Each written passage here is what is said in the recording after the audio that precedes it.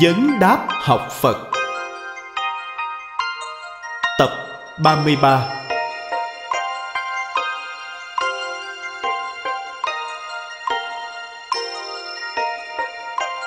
Hòa Thượng Tịnh Không trả lời câu hỏi của đồng tu tại Hồng Kông. Kỳ 7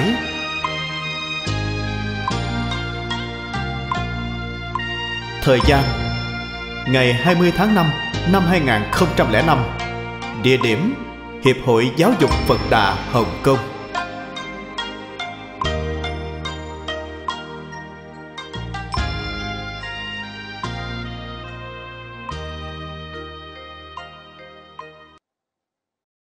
Quý vị Pháp Sư, Quý vị đồng tu.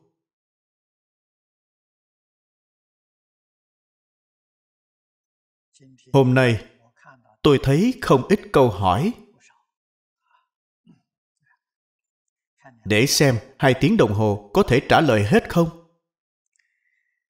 Đầu tiên là cư sĩ quách đến từ bắc kinh. Ông ấy hỏi hai câu hỏi. Câu đầu tiên nói, pháp sư thường nói, không sợ niệm khởi, chỉ sợ giác chậm. Ý niệm vừa khởi thì một tiếng phật hiệu lấn ác duy trì tâm thanh tịnh trong nhiều năm tu học thực tiễn, con vẫn còn vọng niệm. Phiền não xuất hiện lúc nhiều lúc ít. Tham học tới phẩm nghĩa bồ tát trong ưu bà tắc giới kinh. Thế tôn khuyên dạy bằng cả lý và nhiều ví dụ. Nói bản thân ngài lúc còn tu hành ở nhân địa, xem phiền não, bạn ác, thành bạn trợ giúp trang nghiêm đạo bồ tát. Thậm chí trong thời gian dài bị đủ mọi phiền não đau khổ. Bởi vì có sức tự tại nên tuyệt đối không làm cho bản thân thoái chuyển. Đồng thời đã thành tựu bốn điều nghĩa bồ tát. Điều này thỉnh pháp sư tập hợp lại để làm khai thị sâu và rõ ràng hơn. Đáp. Trong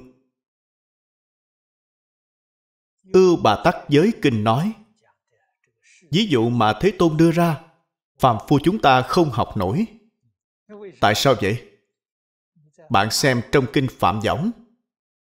Thích ca mâu ni phật nói lần này, ngài đến thị hiện làm phật. Ở thế gian của chúng ta là lần thứ tám ngàn.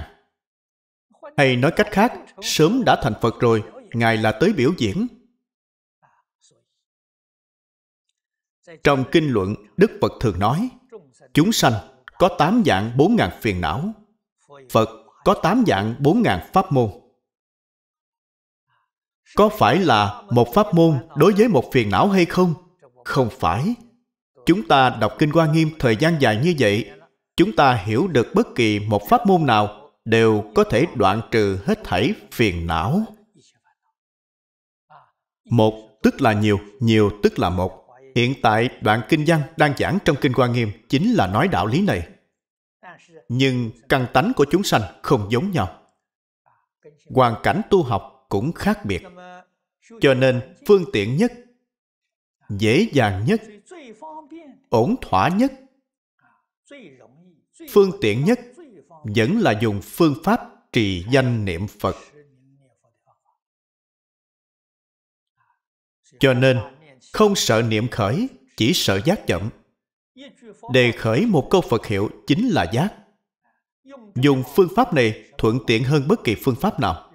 Ai cũng đều biết dùng. Vấn đề là bạn có thể kiên trì hay không?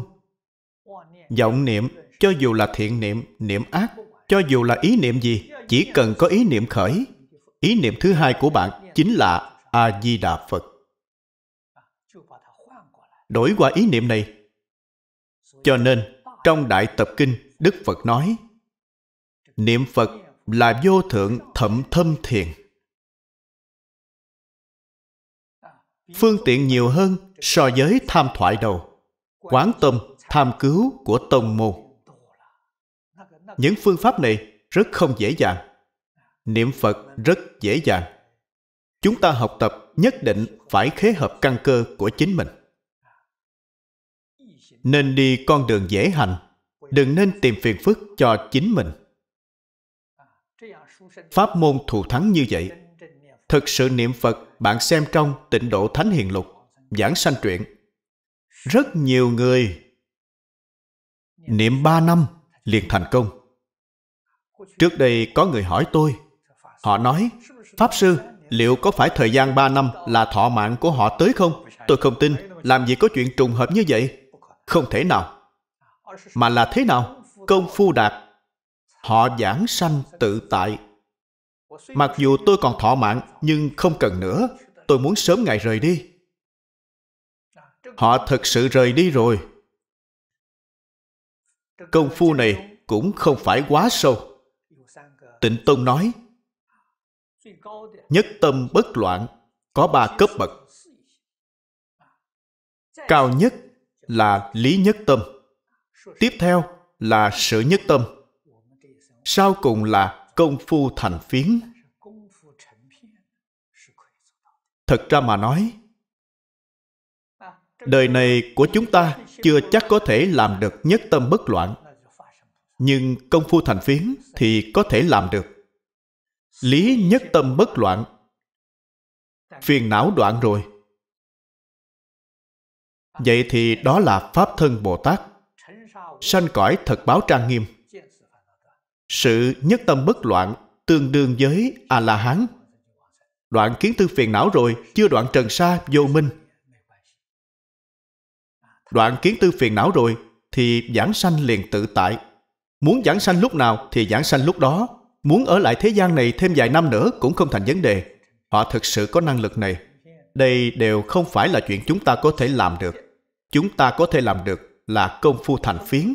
Công phu thành phiến chính là niệm phật tam muội cản nhất. Thế nào gọi là công phu thành phiến? Trong tâm ngoài câu a di đà phật ra, không còn tạp niệm nào khác. Đây là công phu. Vọng tưởng tạp niệm chưa đoạn, nhưng phật hiệu đắc lực. Phật hiệu đích thực hàng phục vọng tưởng tạp niệm. Giống như đá đè cỏ vậy, họ thực sự đè xuống được loại công phu này, mỗi người chúng ta đều có thể làm được. Người căn tánh lanh lợi, trong kinh phật nói, bảy ngày có thể làm được. Người công phu kém một chút, căn tánh kém một chút, tôi nghĩ bảy năm sẽ không có vấn đề. Chắc là có thể làm được. Đó là sự thật. Vậy chúng ta hiện nay học phật không chỉ bảy năm. Cũng có nhiều lần bảy năm rồi tại sao vẫn chưa làm được? Không dụng công. Chính là không đủ tâm cảnh giác, phiền não khởi lên để nó khởi lên. Không biết đổi niệm thứ hai thành a di đà phật, họ không biết đổi. Vậy thì không được. Cho nên vấn đề vẫn là ở chính mình. Pháp môn thì nhất định học một môn. Nhất môn thâm nhập. Trường thời huân tu không thể đổi môn thứ hai. Đổi sang môn thứ hai thì công sức trước đó đổ sông, đổ bể. Chúng ta dùng pháp môn niệm phật, chúng ta lại học kinh ưu bà tắc giới, lại học kinh kim cang. Vậy thì phiền phức của bạn sẽ lớn. Phương pháp của mỗi kinh không giống nhau. Thường xuyên đổi phương pháp, công phu của bạn làm sao đắc lực được? Một môn một môn mới đắc lực, mới có thể hàng phục phiền não cho nên phải đầy đủ tính tâm. Không thể không biết điều này.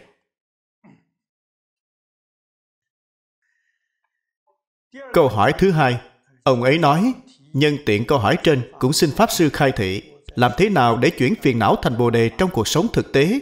Đặc biệt là vào lúc trước khi giảng sanh, có thể một chuyển thì hết thảy đều chuyển không? Đây không chỉ là lúc giảng sanh, mà vào lúc bình thường. Bình thường chính là một chuyển thì hết thảy đều chuyển. Nếu bạn thực sự muốn thành tựu trong đời này, điều kiện tiên quyết, trước đây đại sư chương gia dạy tôi, nhìn thấu, buông xuống. Nhìn thấu là thực sự hiểu được thế giới này là hư quyển không phải là chân thực. Kinh bát nhã, chúng tôi tổng kết những điều nói trong 600 quyển kinh đại bát nhã hết thảy pháp, hết thảy pháp thế gian và pháp xuất thế gian là không sở hữu, rốt cuộc không, chẳng thể được. Nếu bạn có thể nhìn thấu, sau khi bạn nhìn thấu, bạn mới có thể buông xuống, công phu liền có thể đắc lực. Bạn sẽ không bị quấy nhiễu bởi cảnh giới bên ngoài. Đều là giả, đều là không. Từ khi tôi còn trẻ, đã có tâm cảnh giác. Tôi có 40 năm không xem báo chí, không xem tin tức. Toàn bộ đều không xem. Phải có thời gian xem kinh. Thời gian xem kinh còn không đủ, làm gì có thời gian đi xem những thứ đó. Nhưng lúc tôi còn trẻ, mỗi ngày đều vẫn xem báo chí. Tôi xem báo chí không giống với người khác. Tôi xem điều gì? Tôi mở tờ báo ra đầu tiên là xem tin cáo phó. Hôm nay có những ai chết? Có già, có trẻ. Bạn xem thử. Chết rồi. Ngày ngày đều chết nhiều như vậy. Ngày nào đó chắc chắn đến lượt tôi. Đáng tin. Cho nên lúc đó tôi đã có sự cảnh giác. Con người bất kỳ ai trên thế gian này chỉ có một chuyện vô cùng tinh tấn. Từng giây từng phút đều không chịu dừng lại đi về đâu vậy? Sanh ra liền hướng tới phần mộ. Con người thường nghĩ tới điều này, thì bạn không còn lưu luyến thế gian này nữa.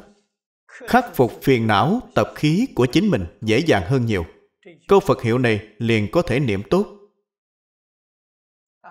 Cái gì cũng muốn tham, cái gì cũng muốn chiếm hữu.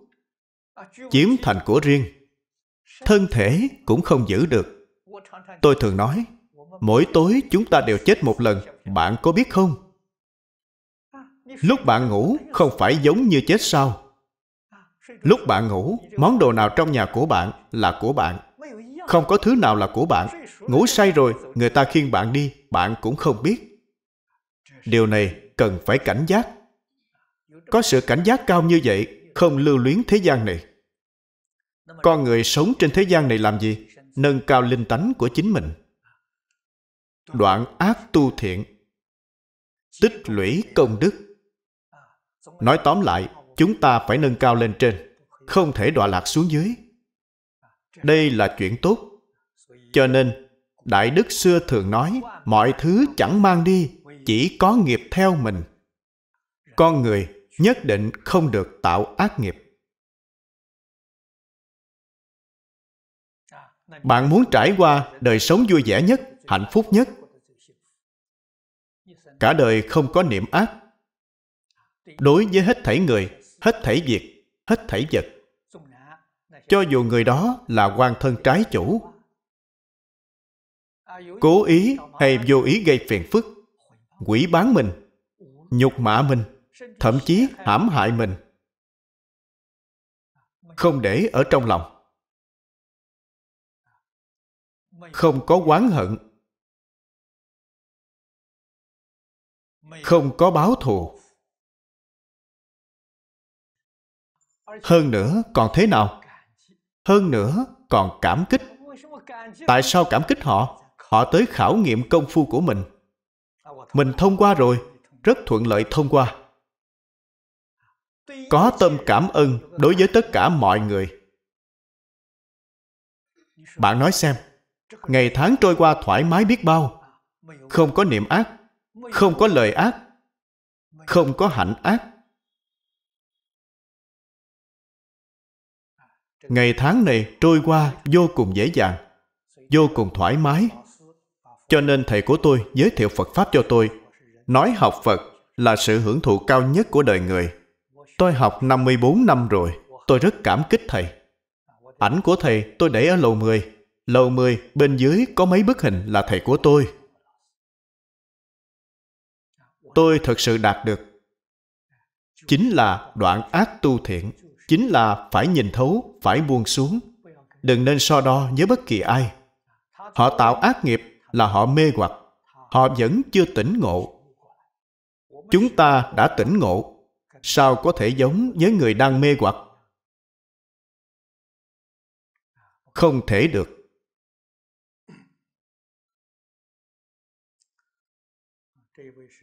Vị này là đồng tu mã ở thẩm dương. Ông ấy có hai câu hỏi.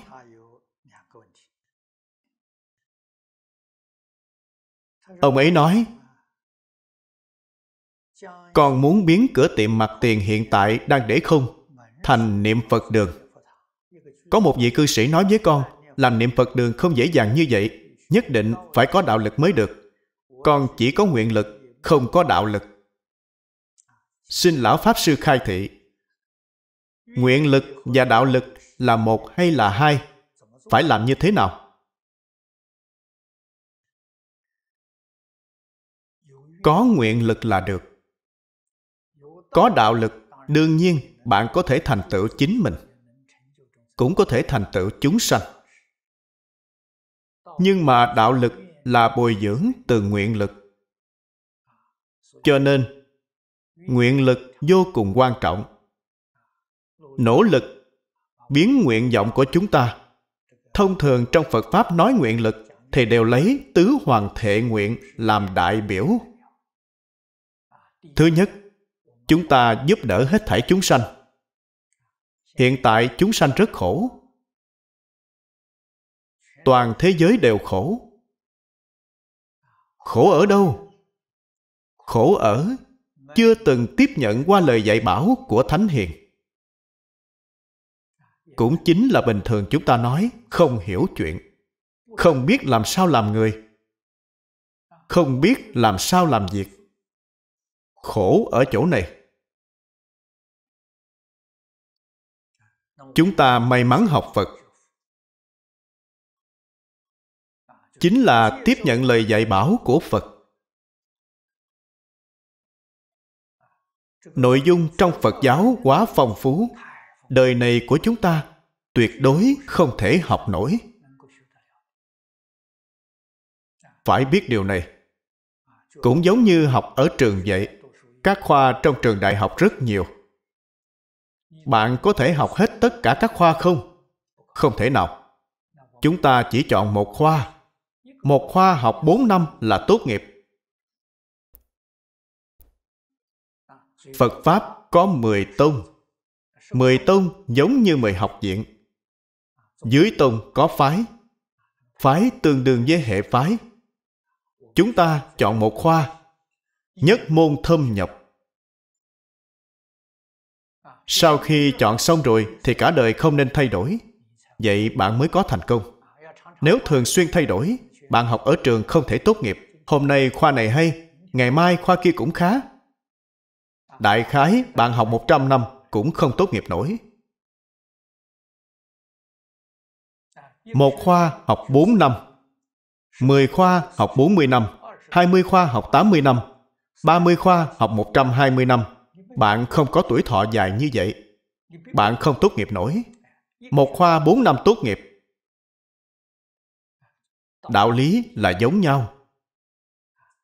Học vấn thế gian chính là khác nghề như cách núi khoa này bạn học rất tốt, khoa kia bạn chưa từng học, bạn không hiểu.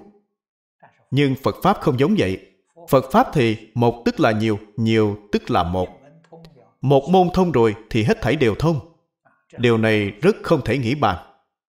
Bạn muốn đi đường tắt, làm thế nào có thể mau chóng thành tựu?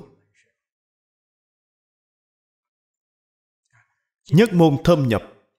Tịnh Tông là phương tiện nhất. Kinh điển ít nhất năm kinh một luận. Nói năm kinh một luận, sáu thứ vẫn có quá nhiều. Trong sáu thứ này tôi chỉ chọn một thứ. Cả đời chuyên nghiên cứu có được không? Được. Vẫn thành tựu như vậy. Mỗi thứ đều có thể học được nhất tâm bất loạn. Tâm không điên đảo, nhất tâm bất loạn là niệm phật tam muội, là thiền định. Tâm không điên đảo là bát nhã, trí tuệ. Cho nên, tam học giới định tuệ đều ở trong đó. Sao không thành tựu cho được? Có duyên phận này, niệm phật đường của chính mình cho dù lớn hay nhỏ, có thể lớn thì nhận thêm một số người, nhỏ thì ít người đi một chút mà trước đây, Đại sư Ấn Quang thường khuyên bảo, khuyên người lập đạo tràng. Đừng nên quá lớn. Ở cùng nhau cộng tu, lấy 20 người làm nguyên tắc. Lão pháp sư nói lời này hay. Chúng tôi càng nghĩ, càng thấy có đạo lý, đặc biệt trong xã hội hiện nay. 20 người cộng tu cùng nhau lớn như đạo tràng của chúng ta là rất tốt không tạp các bạn có 20 người chí đồng đạo hợp các bạn cũng có thể tìm nơi nào đó làm một niệm Phật đường nhỏ. Thực sự chuyên học, tâm không nhị dụng. Mọi người ở cùng nhau khích lệ lẫn nhau, nương chúng tựa chúng, không ai không thành tựu. Nếu đông người, đông người thì phức tạp. Nói chuyện phím sẽ nhiều. Công phu rất khó đắc lực. Nhìn cái này không thuận mắt, nhìn cái kia không thích, bạn động tâm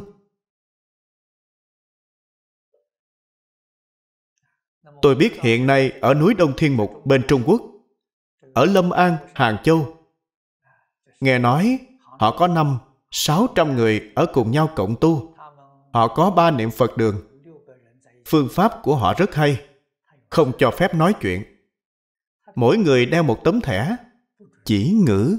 Điều này hay. Không nói chuyện thì không có thị phi. Chấp hành nghiêm khắc. Sau khi bạn tiến vào niệm phật đường, không được nói chuyện. Lúc bình thường, thời gian tu hành dài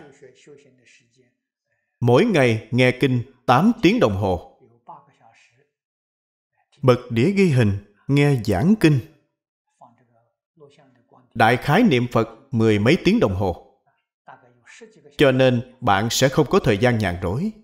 Mệt thì chỉ có thời gian nghỉ ngơi. Quản lý rất tốt. Đây là rất nhiều pháp.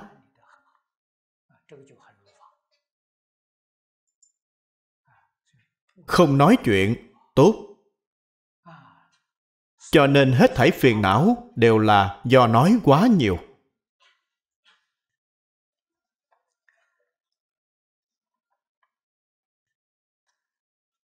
Câu hỏi thứ hai Năm 1961, Lão Pháp Sư phát nguyện xây niệm Phật đường. Trải qua nhiều năm cơ duyên mới chín mùi. Cơ duyên xây niệm Phật đường chín mùi cần đầy đủ những điều kiện nào? Tôi nghe nói hiện nay chính sách tôn giáo của Trung Quốc có thay đổi. Đất nước rất hoan nghênh. Xây niệm Phật đường, xin phê duyệt rất dễ dàng.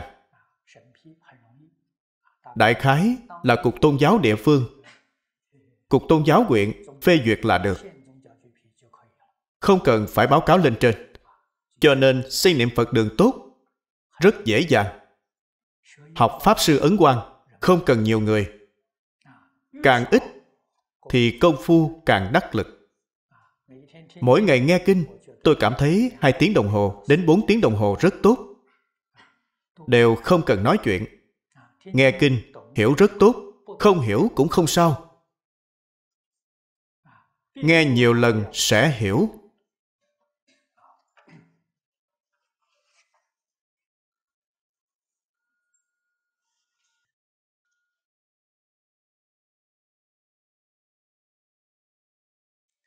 Vị này là cư sĩ lâm, ở phúc châu hỏi.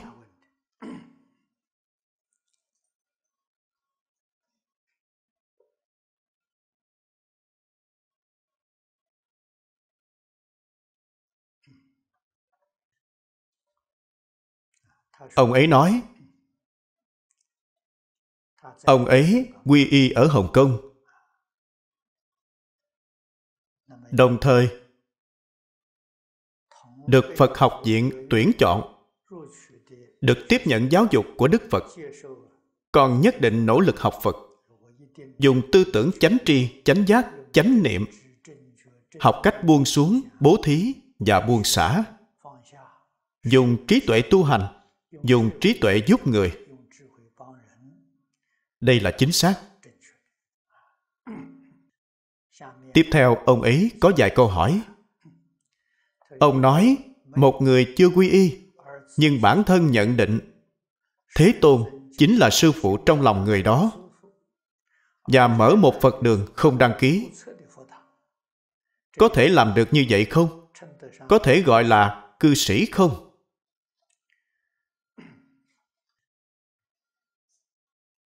Quy y là nghi thức.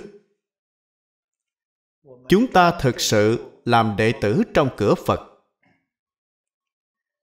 Thì nên giống đức phật.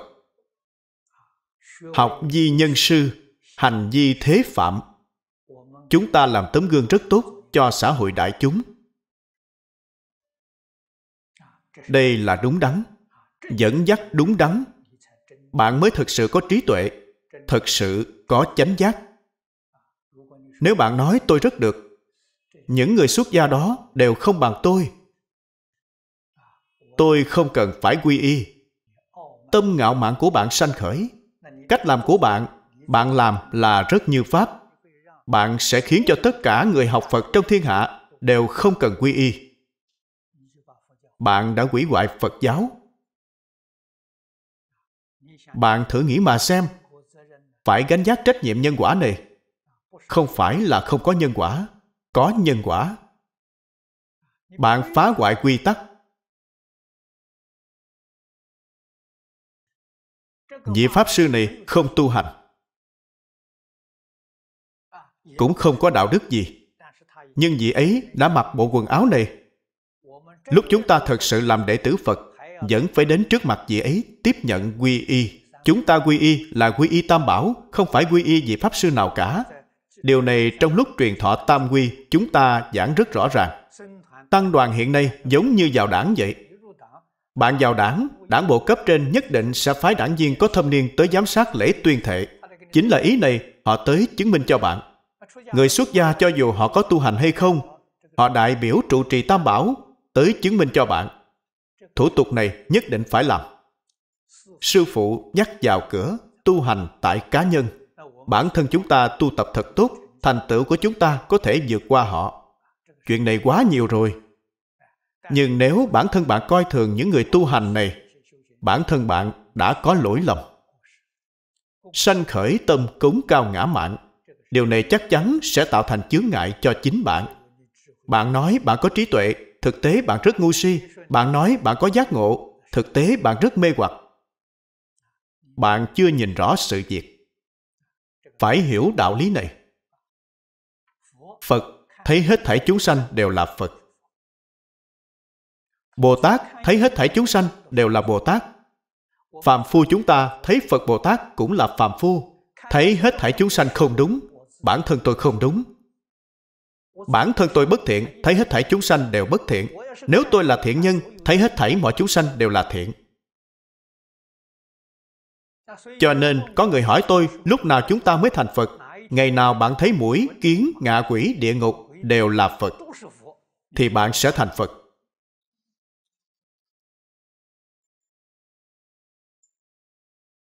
Không cần hỏi người khác. Tu hành, tu điều gì? Chúng tôi, trong các buổi giảng, đã nói quá nhiều. Tu hành không ngoài điều gì khác, chính là đoạn trừ vọng tưởng, đoạn trừ phân biệt, đoạn trừ chấp trước. Khi nào thứ bạn hiển lộ ra là chân tâm của bạn, là tự tánh của bạn, đó chính là phật. Sự khác biệt giữa chúng sanh và phật chính là ở chỗ này. Phàm phu là bởi vì có vọng tưởng, có tạp niệm, có phân biệt, có chấp trước.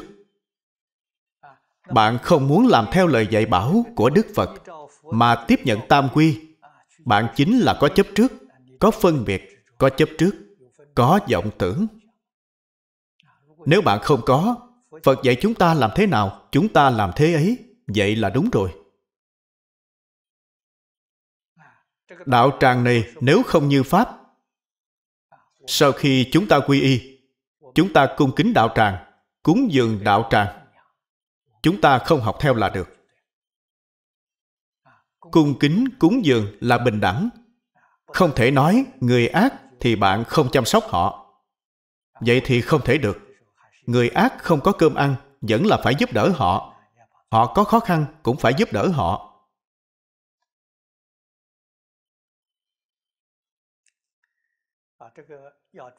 Phải đăng ký với đất nước. Hiện tại khắp nơi, địa phương đều có hiệp hội phật giáo, đều có cục tôn giáo.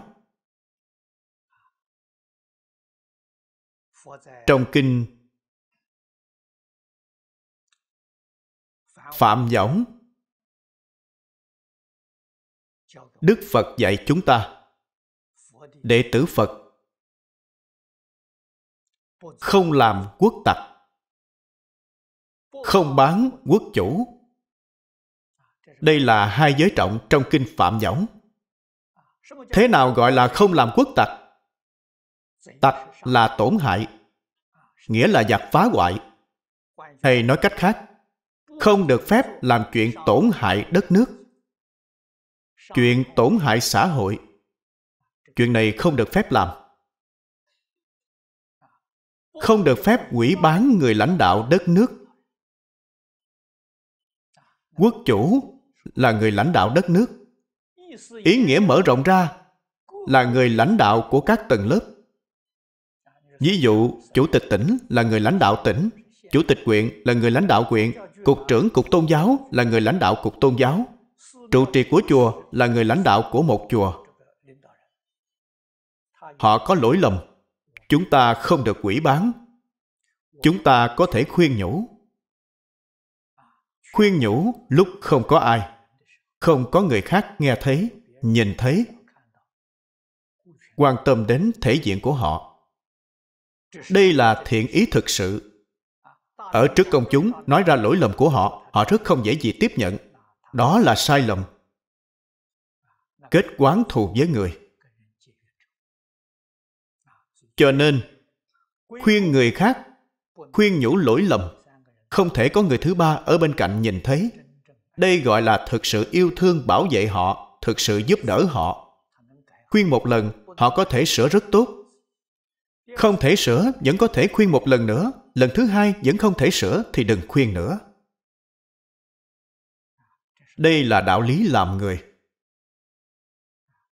Cho nên, nhất định không được quỷ bán. Đức phật trong kinh anh lạc, kinh anh lạc thông thường giảng về giới bồ tát tại gia. Có hai điều. Một là không trốn quốc thuế.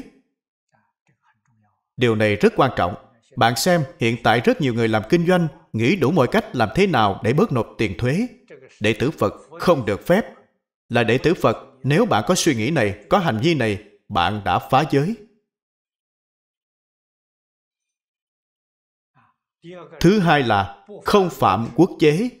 Quốc chế là pháp luật của đất nước, nhất định phải tuân thủ, nhất định không được phạm pháp.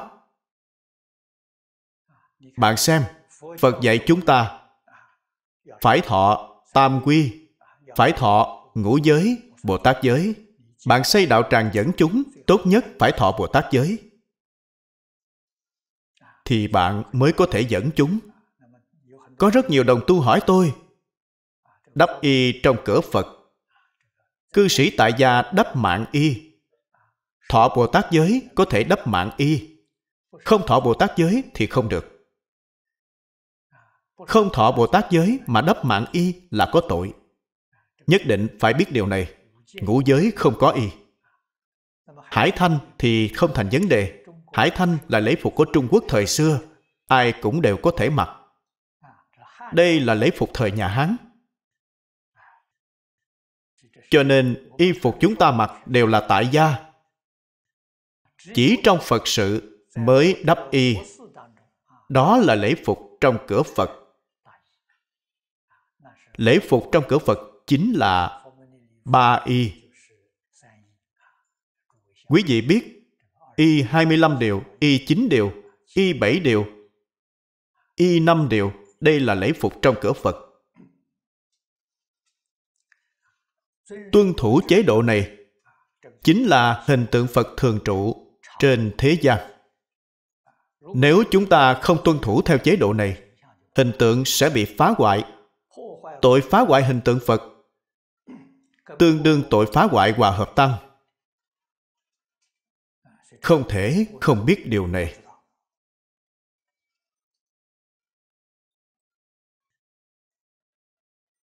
Câu hỏi tiếp theo của ông ấy nói, hơn một năm nay, người đó thu nhận hơn 100 tín đồ. Đã nói với tín đồ, từ hôm nay trở đi, quy y theo họ, không được ở bên ngoài quy y bái sư phụ khác. Nếu không, sẽ bị trục xuất khỏi cửa Phật. Như vậy có được không?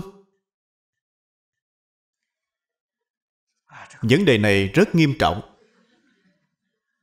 Đây không phải là quy y tam bảo, đây là quy y một người nào đó. Thích Ca Mâu Ni Phật không phải là sư phụ của bạn, bạn quy y người đó. Người đó là sư phụ của bạn. Bạn không học Phật bởi vì không có quan hệ với Thích Ca Mâu Ni Phật. Bạn học theo một người nào đó, không phải học theo Phật. Chúng ta quy y là quy y tam bảo.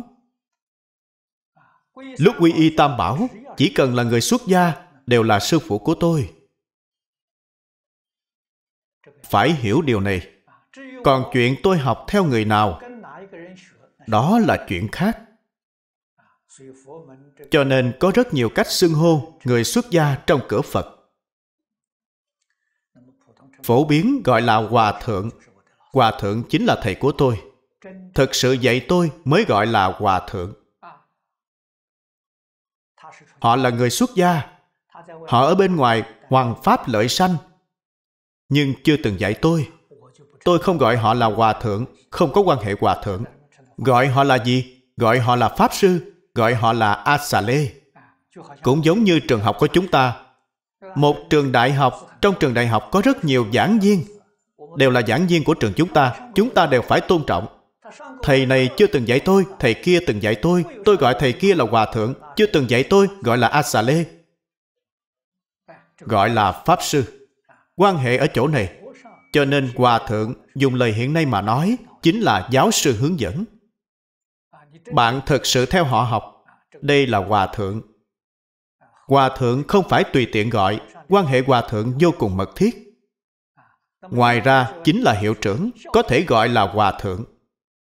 Người đó chủ trì dạy học, hiệu trưởng của một trường gọi là Hòa Thượng. Pháp Sư dạy dỗ tôi. Quan hệ giữa tôi và Pháp Sư là Hòa Thượng. Ngoài những quan hệ này ra, chúng ta đều gọi là Pháp Sư, đều gọi là a sa lê. Asale. lê là tiếng Ấn Độ, dịch sang tiếng Trung Quốc có nghĩa là ngôn hạnh của người đó là tấm gương của tôi, là mô phạm của tôi. Nhưng họ chưa từng dạy tôi. Phải hiểu được xưng hô này, nhất định phải hiểu rõ ràng. Vậy thì Hòa Thượng Asale Pháp Sư nam chúng, nữ chúng đều có thể xưng hô. Tại gia, xuất gia đều có thể xưng hô. Tại gia nhất định là cư sĩ, thọ qua, Bồ Tát giới. Họ dạy bạn, tôi là người xuất gia. Tôi học Phật Pháp là học theo cư sĩ tại gia, lão cư sĩ Lý Bỉnh Nam. Thầy ấy là hòa thượng của tôi. Tôi theo thầy ấy học. Thầy Lý học tịnh độ là theo Đại sư Ấn Quang học. Thầy ấy là học trò tại gia của Đại sư Ấn Quang. Thầy ấy học rất tốt, đích thực rất có nhiều người xuất gia học không bằng thầy. Mặc dù về hình thức không xuất gia, nhưng đời sống của thầy còn nghiêm khắc hơn người xuất gia. Thầy ngày ăn một bữa trưa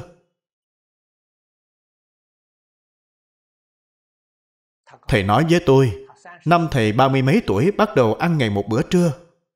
Thầy 97 tuổi giảng sanh. Người xuất gia bình thường không sánh được. Đời sống của thầy hoàn toàn làm theo lời dạy của Đức Phật trong Kinh giáo. Còn nghiêm khắc hơn người xuất gia.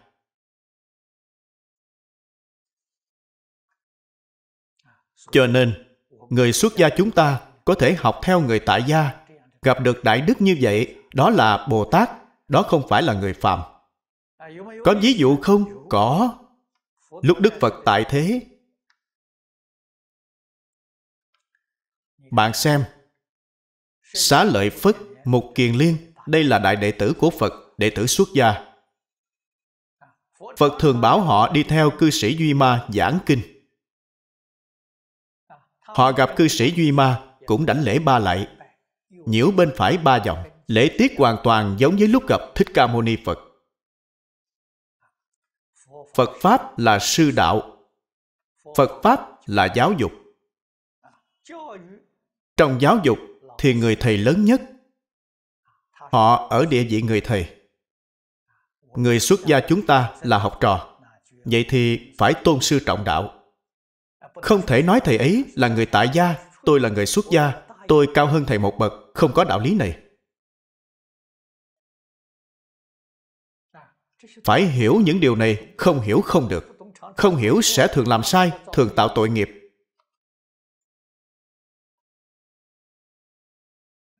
Chuyện này vào những năm dân quốc đã có người giảng rất rõ ràng, người giảng thấu triệt nhất là Âu Dương Cánh Vô. Ông ấy là người những năm đầu dân quốc. Ông ấy là học trò của Dương Nhân Sơn, đều là đại đức tại gia.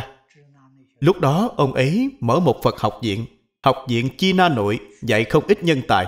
Rất nhiều đại đức tại gia, xuất gia những năm đầu dân quốc đều là do Phật học viện của ông bồi dưỡng ra. Ông ấy chủ trì Phật học viện này, ông ấy là cư sĩ tại gia. Nói rất rõ ràng, rất tường tận. Phật Pháp là sư đạo, người thầy là lớn nhất. Tôn sư trọng đạo. Đây chính là hiếu dưỡng cha mẹ, phụng sự sư trưởng, nói trong tam phước của quán kinh.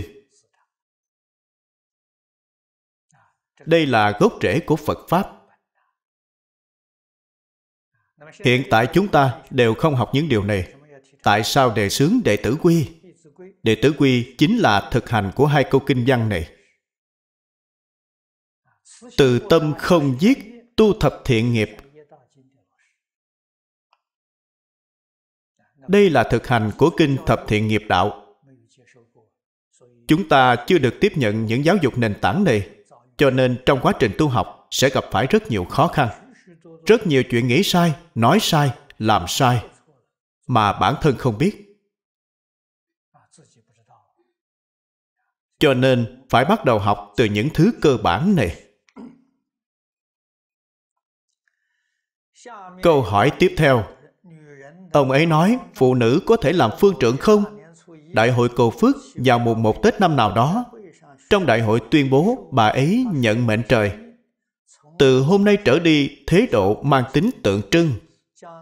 Cắt đi một ít đuôi tóc, rồi nói Tôi là phương trượng. Sau đó mặc cà sa của phương trượng. Như vậy có được không? Lại xưng là quán âm mấy ngàn năm hiếm có dáng thế trên người bà ấy. Quá độ chúng sanh đặc biệt là siêu độ trực tiếp lên trời. Có khả năng này không? Đây liệu có phải là ma nhập không? Mê hoặc rất nhiều ông bà 70, 80 tuổi quỳ bái bà ấy. Có phải sai lầm không? Sợ hãi không? Hiện tại có một số người bắt đầu giác ngộ nhưng sợ hãi bởi vì bà ấy nói không nghe lời bà ấy thì sẽ bị đưa xuống 18 tầng địa ngục. Sợ báo ứng. Rất nhiều vấn đề khiến cho gia đình bất hòa. Người chồng cầm dao chém cửa lớn của Phật đường. Dân dân nên làm như thế nào? Thưa Lão Pháp Sư, còn với tư cách là người tu hành cũng được, bạn bè cũng được, cho nên con giúp đỡ họ như thế nào? Là khuyên nhủ họ tốt hơn hay là coi như không nhìn thấy là tốt? Để tránh tạo khẩu nghiệp. Sáu ba la mật liệu có phải là đại biểu cho sáu vị Phật mẫu không? Bạn phải học thật tốt, những gì bạn nói đều là ngoại đạo. Trong cửa Phật không có những thứ này. Phải nghe kinh nhiều hơn. Học tập nhiều hơn.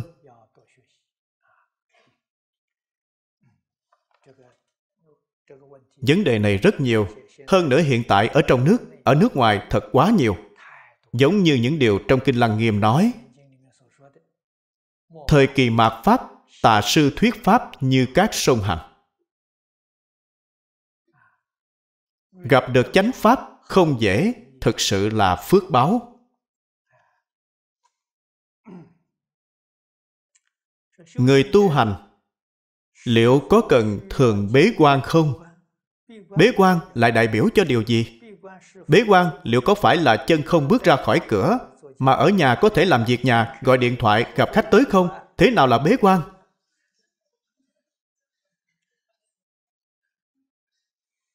Tốt rồi vấn đề này đều không cần trả lời. Nhưng bế quan thì phải nói với bạn một chút đây là thưởng thức. Có một số người xuất gia không hiểu đạo lý này. Chúng tôi mới học phật cũng không biết thường nghe thấy. Pháp sư bế quan thì rất ngưỡng mộ. Tôi xuất gia không bao lâu. Có vị cư sĩ, ông ấy có căn biệt thự trên núi. Bình thường rất ít đi. Ông ấy nói với tôi, pháp sư, thầy có thể bế quan ở trên núi, còn cúng dường thầy. Tôi đi xem thử rất hài lòng là căn biệt thự nhỏ, kiểu nhật bản. Sau khi quay về, tôi tới đại trung gặp thầy mình. Báo cáo chuyện này với thầy. Thầy tôi cười cười. Thầy nói, hiện tại người vừa mới xuất gia, vừa mới thọ giới thì liền bế quan. Tôi nghe nói có. Anh cũng có cơ hội này, rất hiếm có thầy nói bế quan là có điều kiện. Điều kiện gì? Đạo nghiệp của anh đã thành tựu. Anh đã đạt được gì? Đã đạt vô học vị. Thầy nói với tôi, trung quốc thời xưa có một ví dụ, triệu châu 80 còn hành cước. Hòa thượng triệu châu 80 tuổi dẫn ra ngoài tham học vẫn đi học tập. Tại sao ông không bế quan, hưởng thụ ngày tháng thư thái? Không được. Đạo nghiệp của bản thân bạn chưa thành tựu. Cho nên, điều kiện bế quan là học vấn đạo đức của bạn đã thành tựu viên mãn. Nhưng mà như thế nào? Không có pháp duyên. Không có người thỉnh bạn giảng kinh. Không có người thỉnh bạn dạy học người xưa đều rất khiêm tốn. Tuyệt đối không nói với người khác rằng đạo nghiệp, học vấn của tôi có thành tựu. Mọi người có thể học theo tôi. Không có đạo lý này. Nói lời này xấu hổ biết bao. Vậy thì phải làm sao? Tuyên bố bế quan. Sống trên núi. Sống trên núi là ở nhà tranh, không xuống núi. Đây là nói với mọi người. Mọi người có vấn đề, có thể tới chỗ tôi học cho nên bế quan là nói với mọi người, tôi là thiện tri thức. Mọi người đều có thể tới chỗ tôi học. Nếu bạn tới chỗ tôi, hỏi tôi mà tôi không trả lời được, tôi sẽ cùng bạn xuống núi, không có tư cách bế quan. Cánh cửa đóng đó phải mở ra, mau chóng ra ngoài đi học. Bạn vẫn chưa đủ. Làm gì dễ dàng như vậy?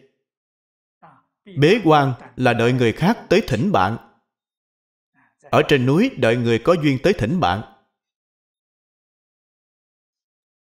Thỉnh bạn xuống núi hoàng pháp lợi sanh.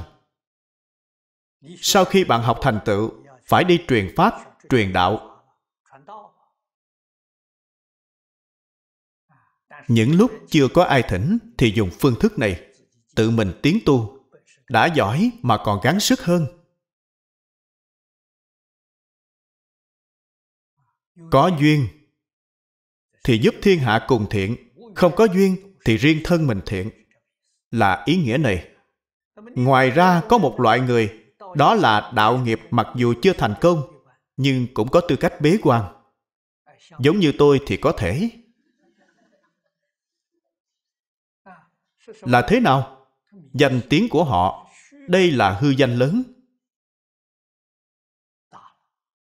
Đi tới nơi nào thì người tới gặp bạn quá nhiều. Thời gian tu hành của bản thân đều không còn. Bế quan tự mình tu cự tuyệt bên ngoài. Là hai điều kiện này.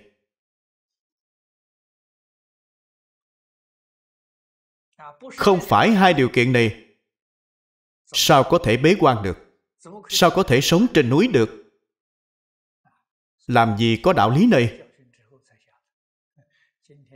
Sau khi chúng tôi nghe xong lời dạy của thầy, mới biết được. Người trong thiên hạ hiện nay e là không có tư cách bế quan, sống trên núi. Không thể không biết điều này.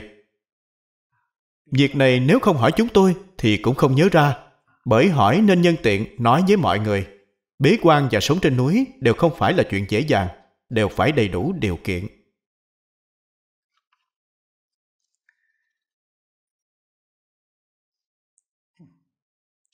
Vị này là cư sĩ thái. Ông ấy có hai câu hỏi. Câu hỏi đầu tiên, thường nghe lão pháp sư nói không được tham tài, sắc, danh, thực, thùy. Tại sao chúng ta không được tham ngủ bạn phải tính kỹ thử xem một ngày 24 tiếng đồng hồ. Bạn ngủ bao nhiêu tiếng? Ngủ là hôn trầm. Cho nên, người tâm địa thanh tịnh thì tự nhiên sẽ ngủ ít. Thời gian chúng ta tu hành học đạo còn không đủ dùng. Tham ngủ để thời gian của bạn trôi qua lãng phí vô cùng đáng tiếc cho nên năm đó thế tôn còn tại thế quy định một ngày người xuất gia chỉ được ngủ 4 tiếng đồng hồ.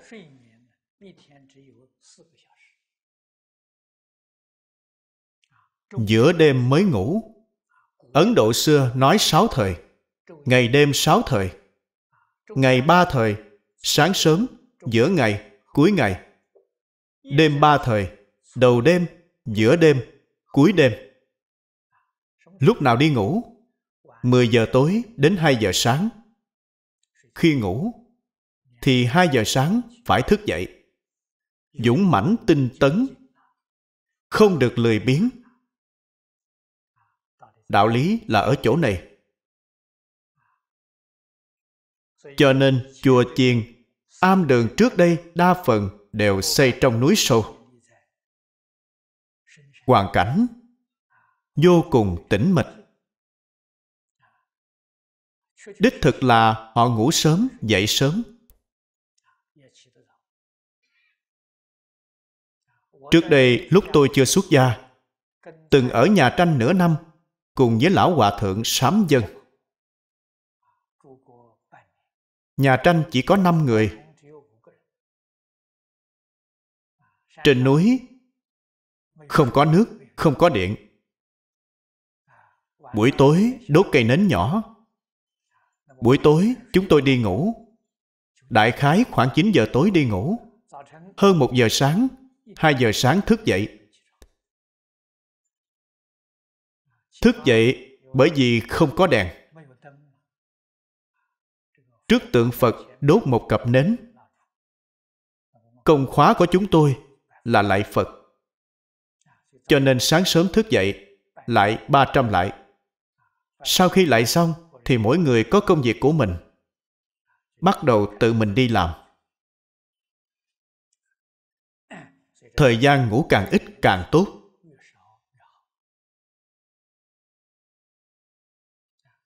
Phật nói ngũ dục tài sắc danh thực thùy cũng gọi là ngũ cái. Cái là che che là gì? Che đậy. Che đậy, chướng ngại tánh đức của bạn, trí tuệ của bạn, đức năng của bạn. Cái có nghĩa là chướng ngại. Cho nên điều này càng nhạt càng tốt. Tài có thể không cần, sắc cũng có thể không cần. Sắc này là chỉ nam nữ có thể không cần, danh có thể không cần. Ăn và ngủ thì không có cách nào nhưng càng ít càng tốt. Cho nên phật dạy, người là ăn một bữa giữa ngày. Ngày ăn một bữa có đủ không? Đủ rồi. Ăn uống của con người là bổ sung năng lượng. Thân thể là một bộ máy. Cần bổ sung năng lượng thì mới có tinh thần, mới có thể lực. Năng lượng tiêu hao 95% là tiêu hao vào vọng niệm. Đích thực là lao tâm, lao lực, tiêu hao đều không nhiều. Tiêu hao nhiều nhất là vào vọng niệm. Cho nên vọng niệm của bạn càng ít thì bạn tiêu hao càng ít. Ăn uống rất ít, bạn cũng có thể duy trì. Đức Phật tại thế, những học trò mà Ngài dẫn dắt, tâm địa đều rất thanh tịnh. Một ngày ăn một bữa là đủ rồi. Tâm của A-la-hán càng thanh tịnh, đã đoạn trừ kiến tư phiền não. Một tuần ăn một bữa. Công phu định của Bích Chi Phật càng sâu hơn, tức là nói vọng niệm càng ít. Nửa tháng ăn một bữa. A-la-hán ôm bát ra ngoài khất thực một tuần một lần. Bích Chi Phật nửa tháng ôm bát ra ngoài khất thực một lần. Một lần tức là ăn một bữa, không phải là khất thực mang về ăn dần, không phải vậy. Từ chỗ này chúng ta biết được, năm điều này, ngũ dục này, người ở trời sắc giới đều không có. Người ở cõi trời sắc giới đắc sơ thiền, thiền định đắc sơ thiền trở lên họ có thể không cần ngủ. Họ có thể không cần ăn uống. Chứng minh điều này là thật, không phải giả, có thể đoạn trừ được. Hiện tại chúng ta là phiền não, tập khí, vọng niệm quá nặng, mới cần những thứ này.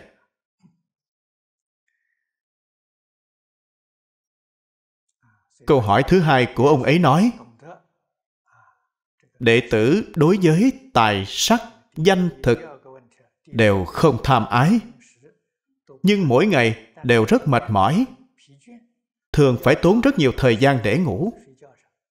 Nhưng tinh thần vẫn luôn không thể tập trung được. Đúng vậy, càng ngủ càng mê hoặc. Hôn trầm, ngủ là hôn trầm. Làm gì có chuyện ngủ quá thời gian mà tinh thần tốt lên được? Không có đạo lý này. Lúc rất mệt thì có thể nghỉ ngơi cho nên niệm phật đường của chúng tôi. Hiện tại niệm phật đường ở tịnh tông học hội úc của chúng tôi cũng dùng phương thức này. Bên cạnh niệm phật đường có hai gian phòng. Gian phòng lớn, giường chung. Một gian cho nam chúng, một gian cho nữ chúng. Niệm mệt rồi, bạn đi nghỉ ngơi. Không cởi áo hải thanh. Vừa tỉnh dậy, liền mau chóng tới niệm Phật đường. Phương pháp này hay. Phương thức này của chúng tôi là áp dụng theo lời dạy bảo của Ấn Tổ.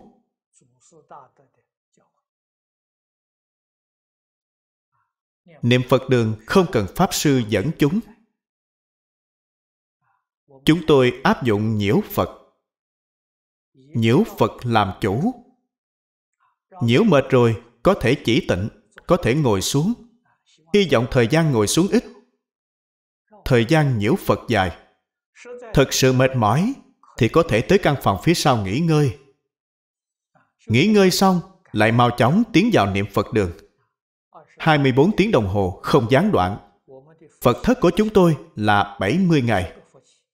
Liên tục đã 10 Phật thất một năm bốn lần, tức là xuân, hạ, thu, đông, mỗi mùa chúng tôi tổ chức một lần.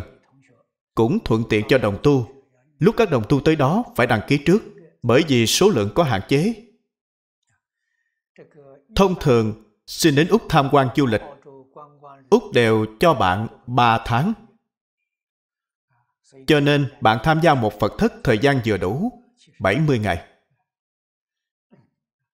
Đây thật sự dụng công ở đó 70 ngày không nói chuyện. 70 ngày ngay cả điện thoại cũng không nghe. Tương đương với đoạn tuyệt hoàn toàn với bên ngoài. Sinh hoạt thường ngày có người chăm sóc bạn. Tâm sẽ tỉnh lại. Cho nên, tỉnh có thể sanh tuệ. Huệ liền có chỗ giác ngộ.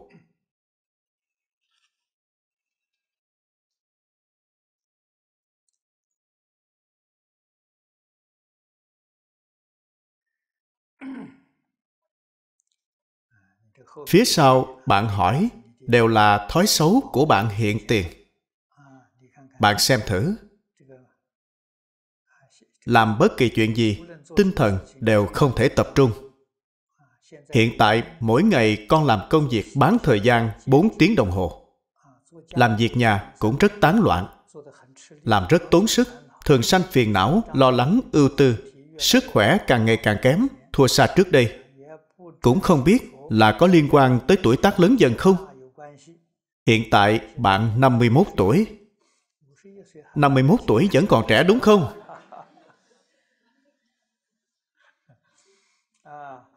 Lão pháp sư thường nói, hết thảy pháp do tâm tưởng sanh. Không sai. Hết thảy pháp đích thực do tâm tưởng sanh. Mặc dù con không nghĩ tuổi tác lớn dần, nhưng thực sự có cảm giác lực bất tòng tâm lại còn muốn dành nhiều thời gian hơn để nghe dvd của lão pháp sư. Trường thời huân tu. Mau chóng nắm lấy thời gian y giáo phụng hành. Thật lòng hy vọng đời này có thể mang nghiệp giảng sanh, không trôi qua uổng phí. Thỉnh lão pháp sư chỉ dạy, nên khắc phục như thế nào trong cuộc sống. Mỗi ngày ngủ ít một chút phương pháp hiệu quả nhất là lại phật.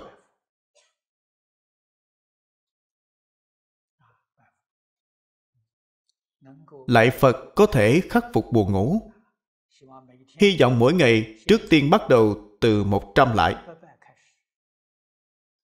mỗi ngày sáng sớm dậy sớm một chút, lại 50 lại buổi tối ngủ trễ một chút, lại 50 lại sau đó từ từ tăng lên nếu nghiêm trọng, thì bạn phải thực sự có nghị lực, quyết tâm. Mỗi ngày lại 300 lại đến 500 lại rất tốt. Trước đây, lúc tôi mới học Phật, mỗi ngày tôi lại 800 lại tiêu trừ nghiệp chướng. Sáng sớm lại 300 lại buổi tối lại 300 lại buổi trưa sau khi ăn cơm xong lại 200 lại. Một ngày lại 800 lại. Sau khi lại xong rất thọ dụng. Lại phật là vận động tốt nhất. Tâm thanh tịnh mỗi bộ phận của cơ thể đều vận động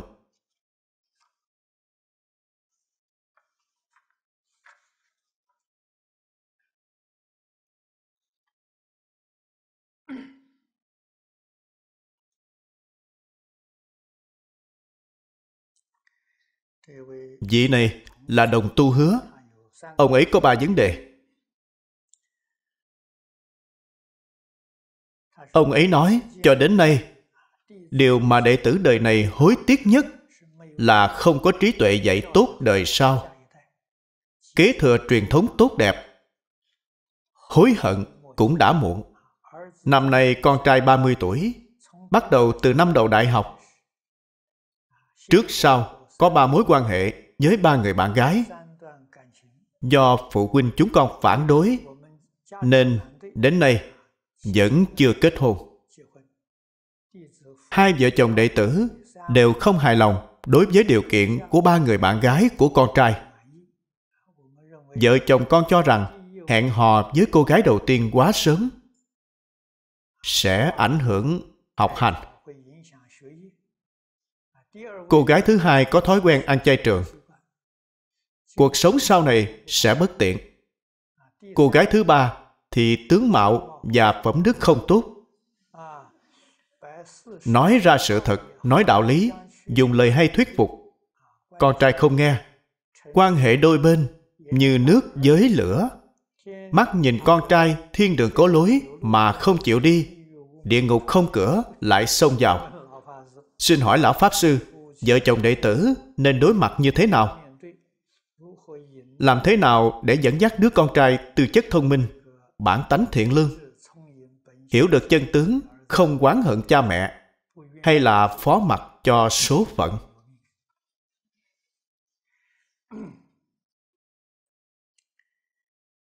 Đạo tràng chúng tôi có đĩa giảng đệ tử quy của cư sĩ Thái Lễ Húc. Đĩa giảng 40 tiếng đồng hồ. Bạn có thể mang về nhà cho con trai bạn nghe. Làm sao bảo cậu ấy nghe? Bạn không cần bảo. Mỗi ngày tự mình nghe, rất nghiêm túc nghe, học tập nghe. Dần dần họ sẽ xem cùng bạn vấn đề của gia đình bạn sẽ được giải quyết. Giáo dục gia đình tốt nhất là bản thân mình nghiêm túc học tập. Bạn không cần nói lời nào cũng sẽ cảm động họ.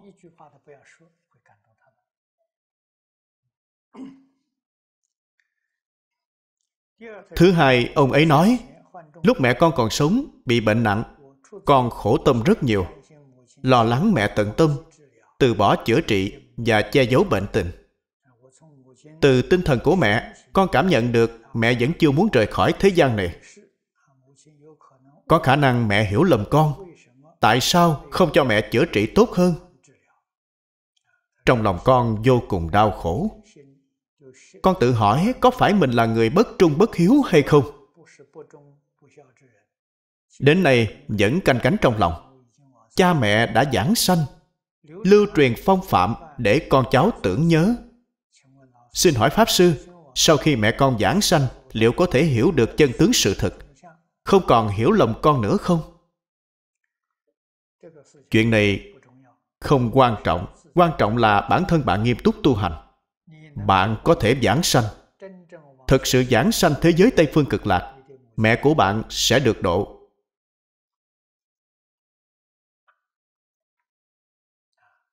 Cho nên, điểm này rất quan trọng. Giúp đỡ người thân quyến thuộc, bản thân phải có công phu tu hành thực sự.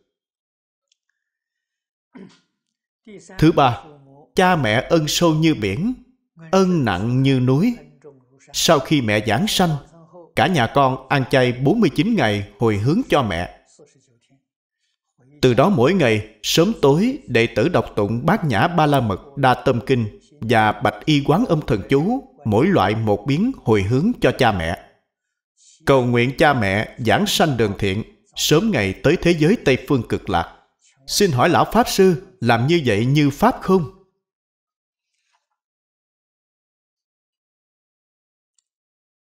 Chi bằng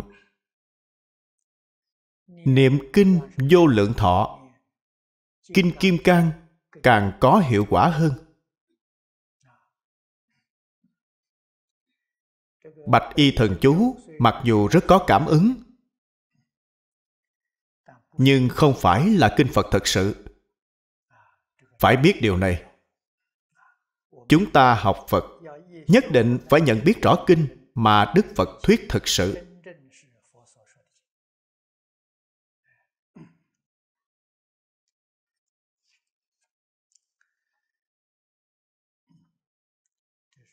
Đây là câu hỏi cư sĩ lý ở phúc kiến hỏi. Ông ấy có hai câu hỏi.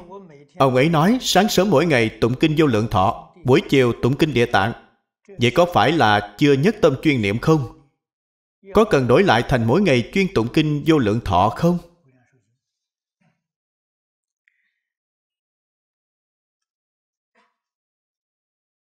Chuyên tụng tốt. Chuyên nhất mới có hiệu quả. Từ trong tự truyện của pháp sư đàm hư, chúng ta thấy một ví dụ.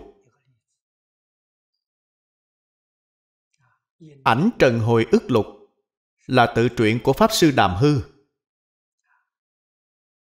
Trước khi lão pháp sư chưa xuất gia, cùng vài người bạn mở một tiệm thuốc đông y.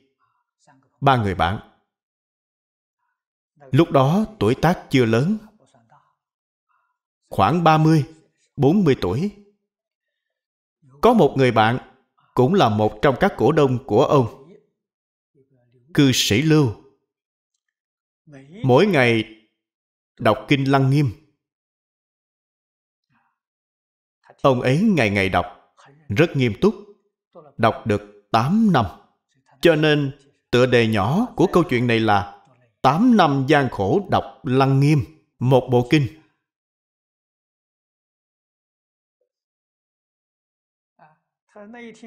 Ông ấy nói buổi trưa hôm đó không có khách tới nên ngủ gật ở trên quầy.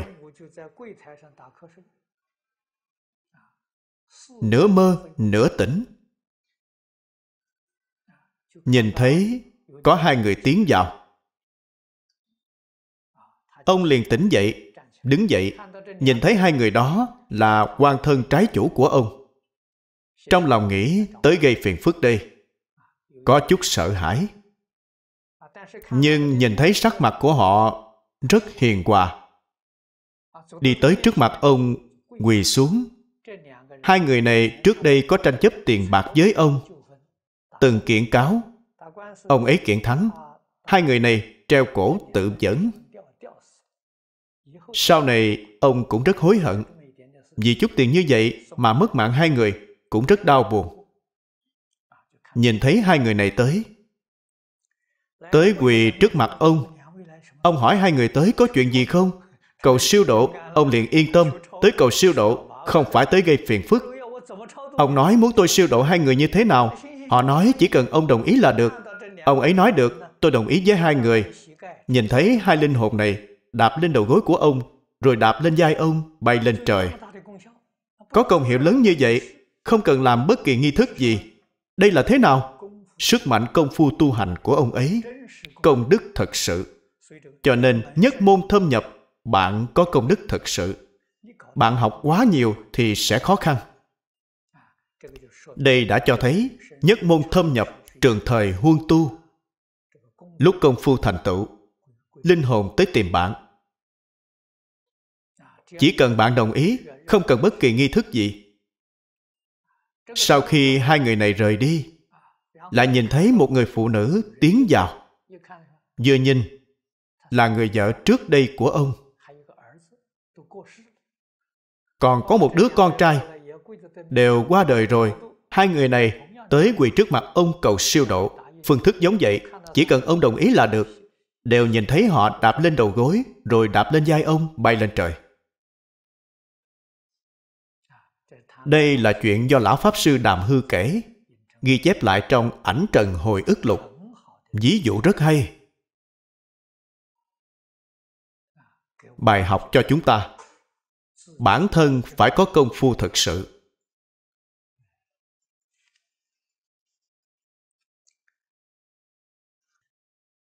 Thứ hai, cư sĩ chuyên tụng kinh mà không tu công khóa sớm tối nữa được không? Được.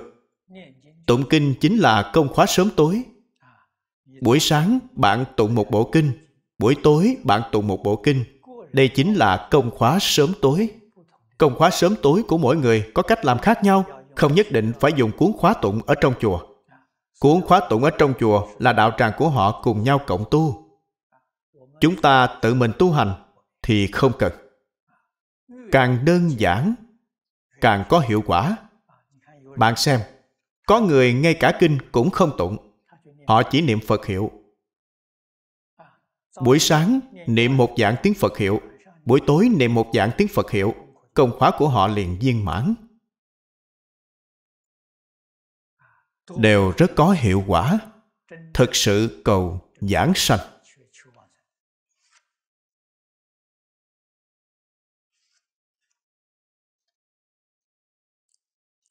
Đây là câu hỏi của cư sĩ trần ở hồng kông hỏi nghe nói có người ở nơi nào đó thường nhìn thấy linh thể của người trung quốc bị quân Nhật sát hại trong Thế chiến thứ hai.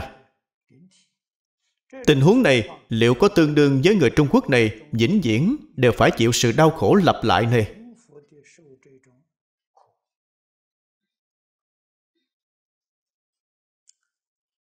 Có khả năng này.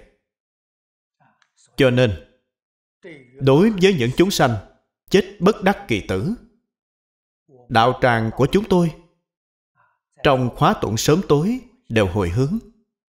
Hơn nữa niệm phật đường ở tầng chín chỗ chúng tôi phòng tưởng niệm tổ tiên cũng cúng những bài vị này.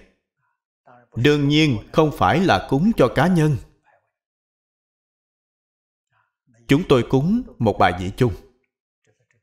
Mỗi ngày đều tụng kinh niệm phật hồi hướng cho họ.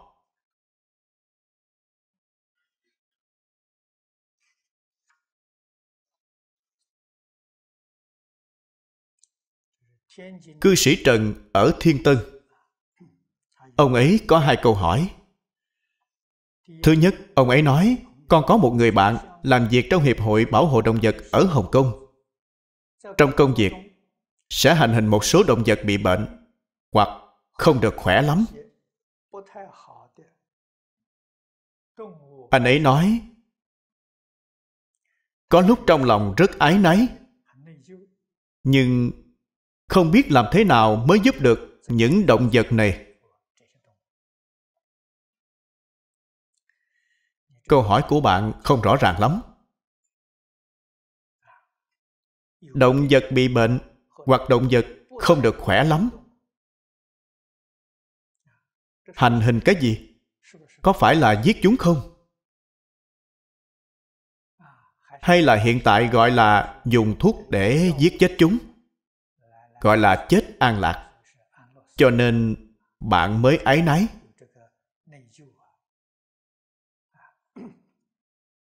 giúp đỡ những động vật này. Quy y cho chúng. Nếu như thường ở trong môi trường này, mỗi ngày làm một lần tam quy y cho chúng tương đương với chúng ta tu công khóa buổi tối vậy. Quy y phật không đọa địa ngục. Quy y pháp không đọa ngạ quỷ. Quy y tăng không đọa bàn sanh. Bàn sanh chính là súc sanh. Niệm phật hồi hướng cho chúng, dạy chúng phát tâm cầu sanh tịnh độ. Làm súc sanh là nghiệp chướng rất nặng nề, nên đọa cõi súc sanh khuyên chúng niệm phật cầu sanh tịnh độ. Như vậy rất tốt. Chúng có linh tánh. Bạn thành tâm thành ý nói chuyện với chúng. Chúng đều hiểu được. Chúng cũng có thể tiếp nhận. Hiện tại có rất nhiều người nuôi thú cưng. Ví dụ như mèo, chó, thỏ, vân vân. Xin hỏi liệu có thể phẫu thuật triệt sản cho những thú cưng này không? Tốt nhất là không nên nuôi. Bạn thử nghĩ xem. Bạn nuôi những thú cưng này. Mỗi ngày, bạn phải tốn bao nhiêu thời gian, tinh thần để chăm sóc chúng? Tại sao bạn không dùng thời gian, tinh thần này mà niệm phật? Tại sao bạn không dùng thời gian, tinh lực này đi giúp đỡ những chúng sanh khổ nạn? Tôi tin rằng người già, trẻ em mồ côi cần chăm sóc ở hồng kông rất nhiều. Nuôi thú cưng rất lãng phí thời gian, cũng lãng phí tinh thần.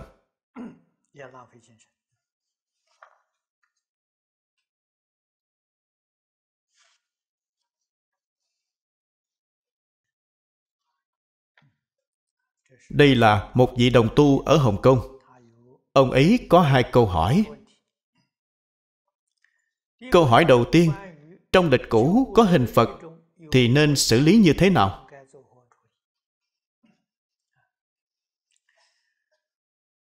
Chuyện này cũng là kiến thức thông thường.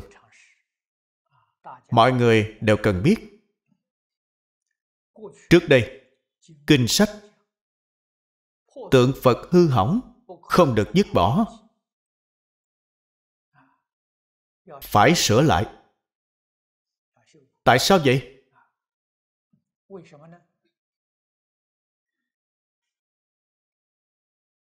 Trước đây không có kỹ thuật in ấn.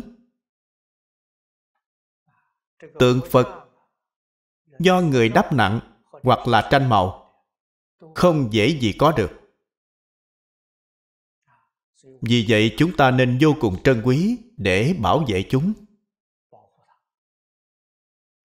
Nhưng hiện tại khoa học kỹ thuật phát triển, kỹ thuật in ấn phát triển, chi phí vô cùng thấp. Ngay cả báo chí bình thường. Bạn xem chúng ta đều bình thường nhìn thấy hình phật bồ tát trong đó. Đệ tử phật chúng ta nên xử lý như thế nào? Tâm cung kính đối xử với chúng là được. Giống như nhất báo, tờ báo vẫn nên xếp gọn gàng. Để bình thường, họ có người chuyên môn thu gom rác. Chúng ta dùng túi ni lông đóng gói lại, để họ mang đi bởi vì bạn không còn cách nào dứt đi, bạn cũng không có nơi nào để đốt chúng. Hiện tại sống trong đô thị rất nhiều khó khăn. Dùng tâm cung kính là được. Tượng phật cũ. Hiện tại, cho dù bạn sửa lại, tặng cho người khác cũng không ai cần. Tượng mới quá nhiều. Phải hiểu đạo lý này. Kinh sách trừ khi là sách cổ sách khâu bằng chỉ. Đây là sách lưu truyền lại từ mấy chục năm trước. Mấy trăm năm trước, sách này rất trân quý, phải bảo tồn. Vậy thì chúng ta thực sự phải sửa lại. Lúc trang giấy sắp hỏng, chúng ta phải bồi tranh, bồi lại. Bồi một lần ít nhất lại có thể bảo tồn 500 năm. Đây là chuyện nên làm. Nhưng hiện tại sách chúng ta in ấn thông thường thì không cần thiết. Số lượng lưu hành của chúng quá lớn. Trước đây, trên kinh sách không được viết chữ. Không được làm dơ kinh sách Tại sao vậy? Sau khi chúng ta đọc xong, còn phải lưu truyền cho đời sau. Hiện tại điều này đều không cần thiết nữa. Bạn xem, ngay cả những sách cất kỹ trong thư viện hiện nay đều có thể sao chụp. Sao chụp ra, chúng ta có thể viết chữ, viết ký hiệu trên đó cũng không có vấn đề. Bản gốc trả lại cho họ, chúng ta phải hiểu điều này.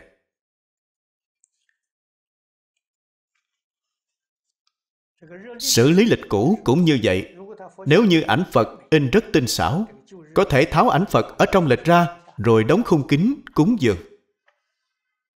Lịch cũ thì không cần nữa. Bạn rất quan hỷ. Nếu họ vẽ rất tầm thường, không muốn cúng dường, vậy thì xử lý như giấy báo bình thường là được. Thứ hai, lúc con làm việc ở công xưởng, từng nhìn thấy đơn vị hai bên a, b dứt đi những hàng tiêu dùng vẫn có thể dùng được. Con cảm thấy rất đáng tiếc. Biết rằng mỗi thành phẩm làm ra phải trải qua rất nhiều công đoạn vất vả mới được. Cho nên con mang cho những người có nhu cầu sử dụng. Con làm như vậy có phải là trộm cắp không?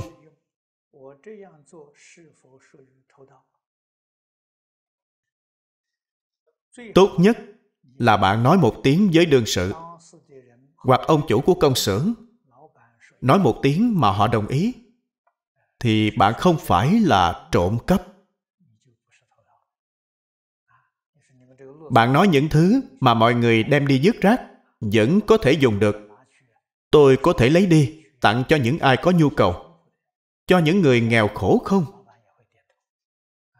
Tôi tin rằng ông chủ của bạn cũng sẽ gật đầu vậy thì bạn không phải là trộm cắp. Tất cả làm theo quy trình này. Vật đều có chủ chủ nhân đồng ý là được.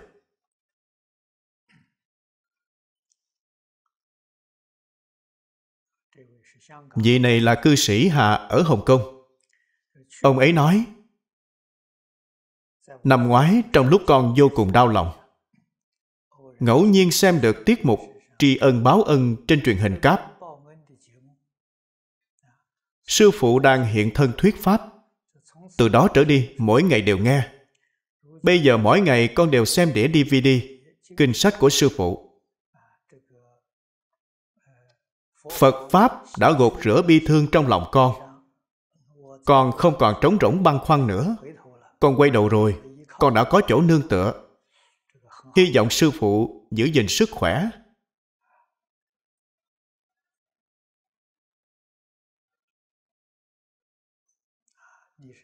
Bởi vì còn có rất nhiều người giống như con, chờ sư phụ xuất hiện. Hy vọng họ cũng có thể giống như con vậy.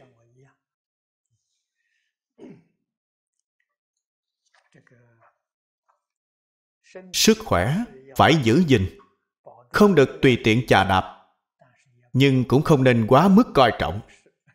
Quá mức coi trọng thì có chướng ngại đối với giảng sanh bạn vẫn không nỡ rời khỏi tấm thân này. Cho nên trong phật pháp là hết thảy tùy duyên. Đời sống của chúng ta có quy luật. Ăn uống có tiết chế. Như vậy sẽ không dễ bị bệnh. Nhưng tuổi tác lớn vẫn khó tránh được có vấn đề. Có điều trong tình trạng bình thường, đại khái là sức khỏe của tôi đều tốt hơn người bằng tuổi tôi. Tình trạng tốt hơn rất nhiều. Công việc của chúng tôi rất đơn giản. Mỗi ngày đều là lên lớp giảng kinh. Ngoài những điều này ra thì tự mình đọc kinh, niệm phật. Trải qua cuộc sống rất có quy luật, rất đơn thuần. Không tranh với người, không cầu nơi đời. Người ta tới tìm tôi thì không có cách nào. Là chuyện vì đại chúng thì tôi nên làm. Qua hai ngày nữa, tôi phải ra ngoài. Đại khái là mất một tháng mới có thể quay về. Lần này đi pháp, đi anh, đi mỹ đều là vì thế giới hòa bình. Hiện tại liên hiệp quốc tới tìm tôi.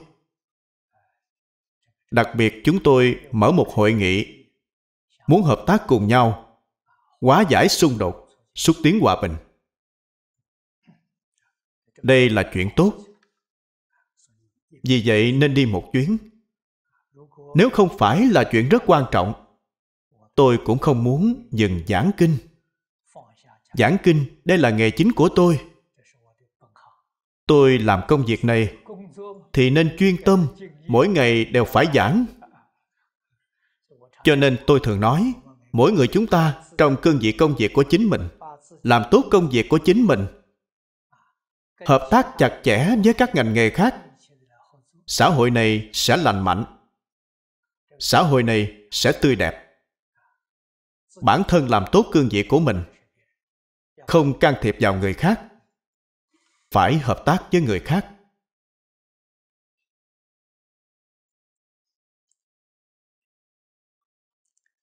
Vị này là cư sĩ hứa. Vào năm ngoái năm 2004 ông ấy chính thức tiếp nhận tam quy ngũ giới tại Phật đường Thanh niên Phật giáo.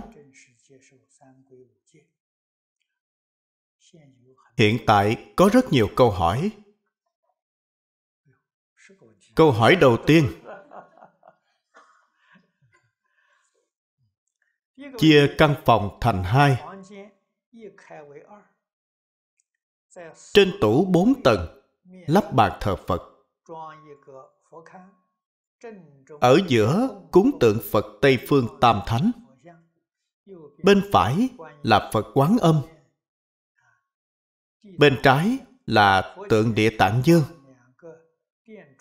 phía trước phật đặt ba cây nến điện, một lư hương điện. Phía trước nữa là lư đốt gỗ đàn hương. Lư hương, nước sạch dùng để chế độ tự động. Sáng sớm mỗi ngày cứ 4 giờ rưỡi đến 6 giờ rưỡi chiều từ 5 giờ đến 7 giờ mở máy niệm Phật đồng thời với các hương, dược, dân dân.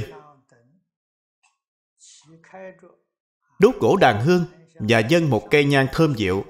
Trước tiên niệm tịnh khẩu nghiệp chân ngôn, hương tán, thích ca mâu ni Phật ba lần. Kệ khai kinh, liên trì hải hội Phật Bồ Tát ba lần. Tụng một quyển kinh Phật thuyết A-di-đà.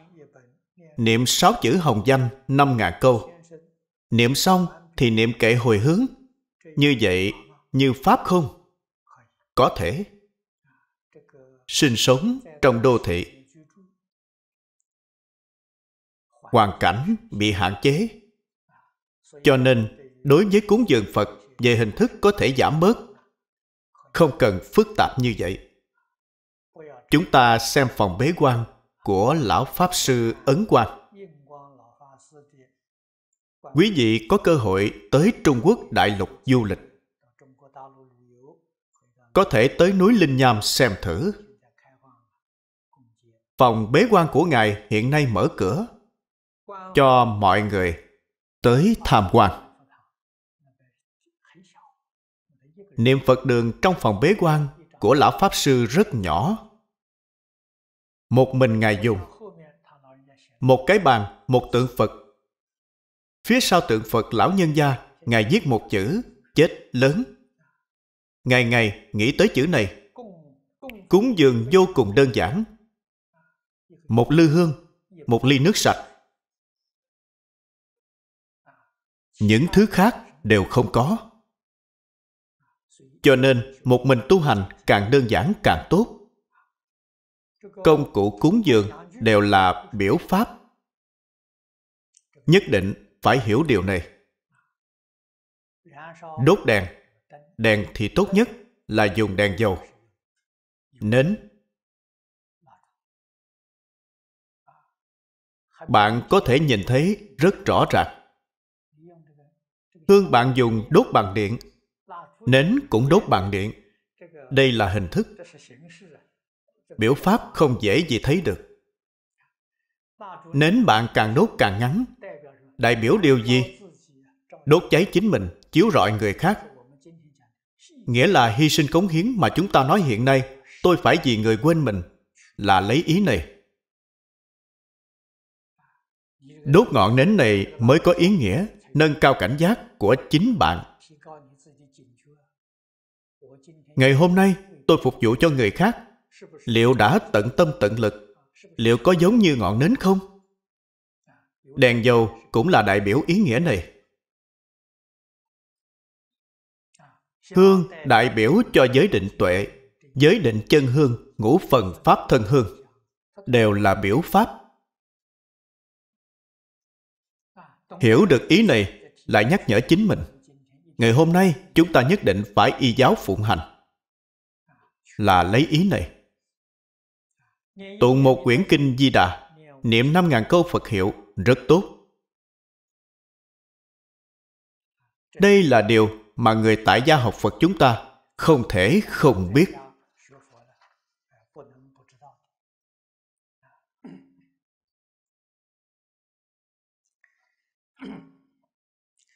Thứ hai, nước trong trước tượng Phật có phải mỗi ngày đều thay không?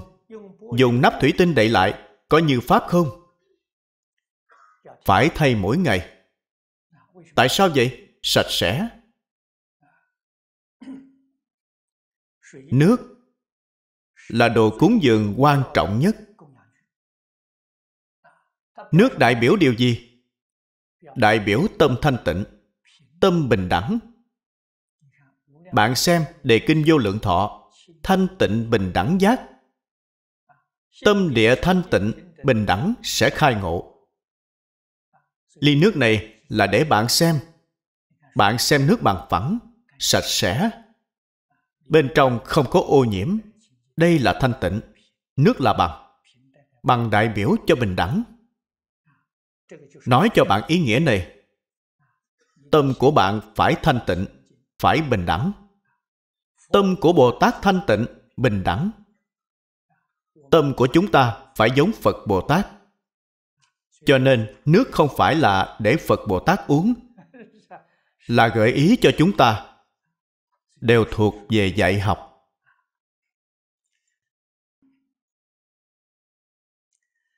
Thứ ba, một người ở nhà niệm phật, nhiễu phật, mặc quần áo bình thường hay phải mặc hải thanh?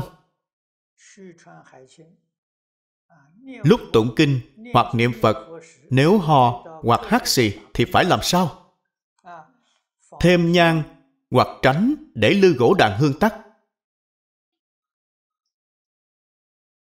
có bị coi là phân tâm không? Phải làm như thế nào?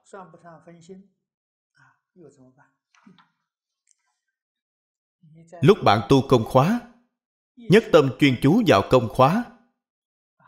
Những chuyện này bạn không cần quan tâm nhang đốt hết. Thì không cần đốt thêm nữa. Bạn sẽ không phân tâm. Mọi người cùng nhau cộng tu chuyên môn có thầy hương đăng quản chuyện này. Cho nên đại chúng không phân tâm. Lúc chỉ có một mình chúng ta, sau khi một cây nhang đốt hết, có thể không cần đốt thêm. Sau khi chúng ta tu xong toàn bộ công khóa, bạn lại đốt thêm một cây nữa cũng được. Bạn không đốt cũng được. Lúc lư gỗ đàn hương bị tắt, cũng không cần để ý tới nó.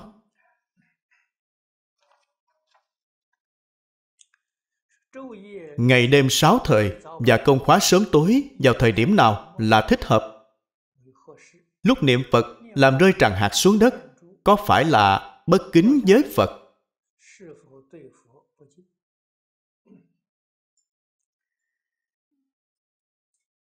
Niệm phật, tràng hạt rơi xuống đất đại khái là bạn đã hôn trầm rồi. Hôn trầm thì nên nghỉ ngơi. Không nên miễn cưỡng. Công khóa sớm tối tùy theo sự thuận tiện của cá nhân mình. Không nhất định phải quy định từ mấy giờ tới mấy giờ như trong chùa. Không cần thiết, bởi vì công việc của mỗi người chúng ta không giống nhau. Thói quen sinh hoạt thường ngày cũng khác nhau nói tóm lại, phật pháp là tùy duyên. Phật pháp luôn hàng thuận chúng ta.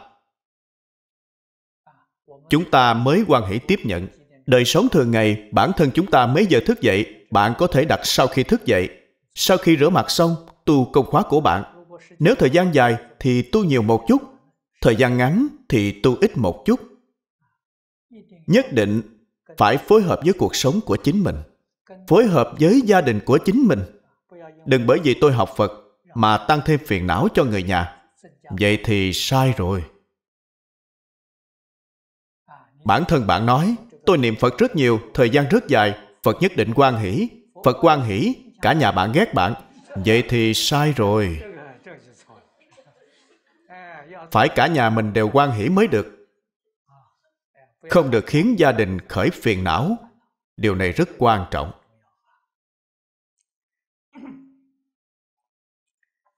Làm thân phật chảy máu, có phải là lợi dụng danh nghĩa của phật để lừa tiền bạc không?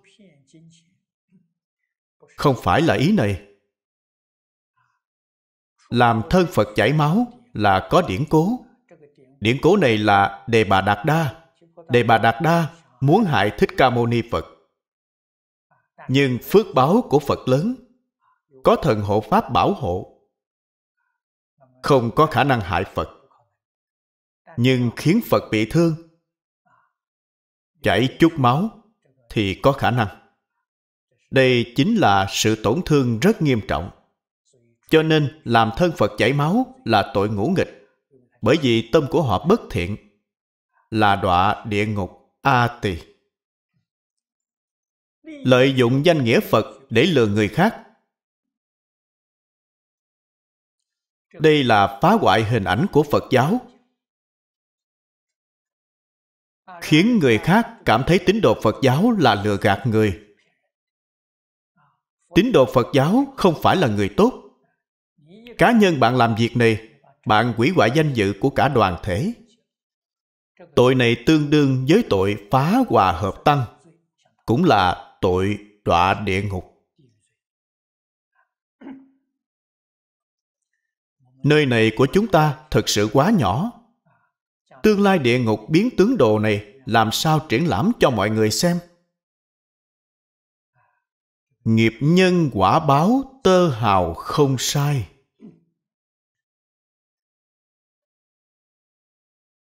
Câu hỏi tiếp theo. Ông ấy nói ba năm trước đã quyết định ăn chay. Mười ngày chay và ăn chay có phải là hai chuyện không? Không sai. Mười ngày chay và ăn chay là hai chuyện. Ăn chay là quanh năm rời xa huân tanh.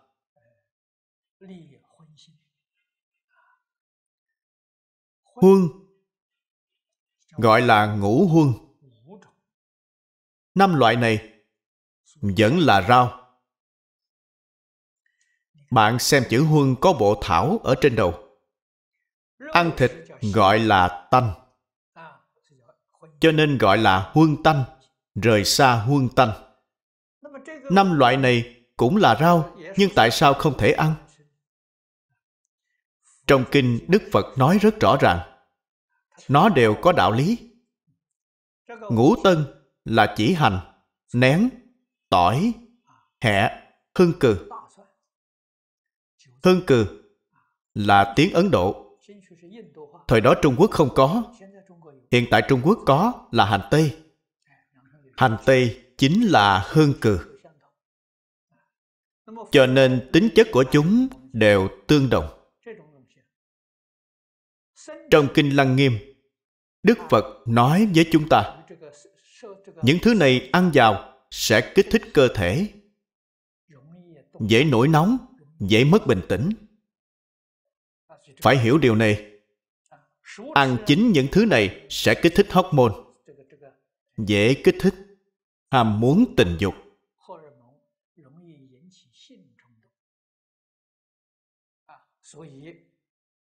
Phật dạy chúng ta, giới dâm phải nên thiểu dục. Cho nên ăn chính chúng thì có sự kích thích đối với sinh lý của bạn. Ăn sống dễ nổi giận, mất bình tĩnh phải biết điều này. Những lúc bạn nấu ăn, dùng chúng làm gia vị, số lượng rất ít, không khởi tác dụng, có thể. Khai duyên nhà phật nói rất có đạo lý. Giống như rượu, giới khai duyên của rượu là nhiều nhất. Rượu là gì? Say rượu sẽ loạn tánh. Cho nên, đối với thứ này, phật tuyệt đối nghiêm cấm. Nhưng lúc bị bệnh trong đông y có rất nhiều thuốc phải dùng rượu làm thuốc dẫn. Có thể dùng. Có thể dùng rượu chung với thuốc. Trong cửa phật cũng có, người 70 tuổi trở lên. Thân thể tương đối suy yếu. Rượu có thể giúp bạn lưu thông máu. Có thể dùng. Lúc tôi còn trẻ mới học phật. Cũng thường tới chùa làm công quả lão hòa thượng trong chùa đối với tôi rất tốt. Thường mời tôi ăn cơm cùng ông ấy. Nhưng mà tôi nhìn thấy mỗi bữa cơm ông ấy đều có một ly rượu. Tôi cảm thấy rất kỳ lạ. Tại sao mỗi bữa lão hòa thượng đều uống một ly rượu? Chúng tôi cũng không dám hỏi. Sau này theo thầy lý tôi báo cáo chuyện này với thầy lý. Thầy lý nói với tôi lão hòa thượng 70, 80 tuổi rồi giúp lưu thông máu như vậy có thể. Đây là khai duyên. Tôi mới biết là chuyện làm như vậy. Cho nên chúng ta hiểu được đạo lý này, thì chúng ta mới biết. Nhưng sống trong đoàn thể tốt nhất không nên dùng. Tránh để người khác không biết, họ lại bàn tán. Sao ông ấy lại ăn ngủ huân, phá giới rồi? Nhưng mà lúc dùng ở trong gia đình mình thì không cần lúc dùng trong gia đình. Nếu bạn ăn chay, món chay mà ngay cả những gia vị này cũng không được bỏ vào. Người nhà bạn đều không quan hỷ. Ăn chay có mùi vị gì? Có thể làm gia vị. Số lượng rất ít. Bạn nói như tỏi. Bạn thật sự bảo chúng tôi ăn tỏi, chúng tôi cũng ăn không nổi. Quá cay. Mùi rất cay. Vậy thì không có cách nào nhưng người sơn đông, họ ăn tỏi giống như ăn hạt đậu phộng vậy. Vậy thì thật sự khởi tác dụng. Giống như uống rượu vậy. Phải đủ lượng thì mới sanh ra tác dụng. Món ăn bỏ ngũ huân số lượng rất ít. Lúc làm gia vị, số lượng rất ít. Không khởi tác dụng. Chín hay sống đều không khởi tác dụng. Chúng ta nhất định phải hiểu điều này. Nhất định phải biết bạn mới hiểu được trong phương diện cuộc sống. Nhưng mà có một số người không hiểu đạo lý. Sợ họ tạo khẩu nghiệp nên chúng ta tránh đi. Phải hiểu điều này. Thật ra mà nói, xã hội hiện nay, ba bữa của chúng ta đều đang uống thuốc độc. Thịt lần này tôi tới sơn đông tham quan trại nuôi vịt. Quy mô rất lớn. Đều là cho uống thuốc kháng sinh. Trưởng thành rất nhanh. Một con vịt nghe nói, mười mấy ngày đã rất lớn rồi. Có thể mang đi bán. Dịch quay bắc kinh đa phần đều là lấy dịch nuôi ở chỗ này.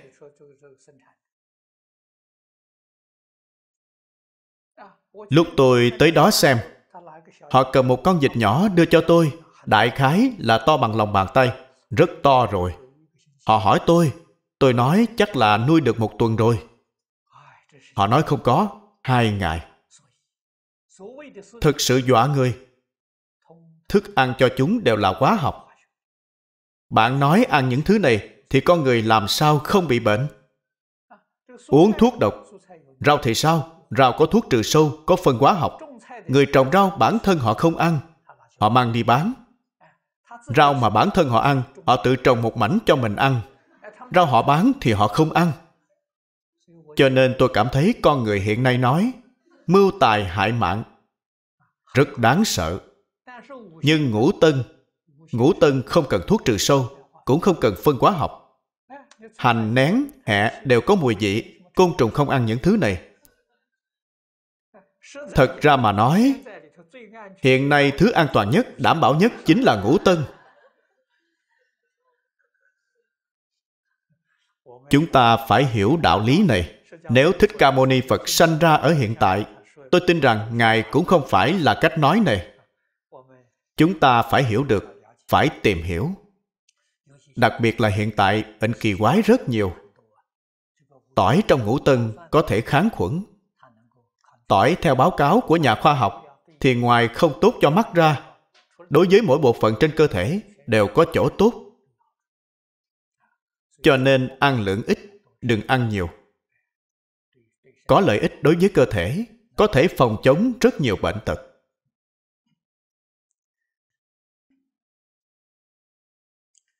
Câu hỏi tiếp theo, ông ấy nói xem được đĩa dvd và sách thiện có ý nghĩa giáo dục còn nhất định đi khắp nơi, tìm về giới thiệu cho người khác.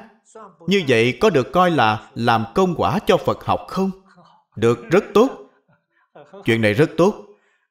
Câu hỏi thứ tám. Ngoài giúp đỡ người khác và quyên tặng có ý nghĩa ra, ngay cả một hạt cơm hay tờ giấy phía sau vẫn có thể viết chữ được. Con đều không muốn lãng phí.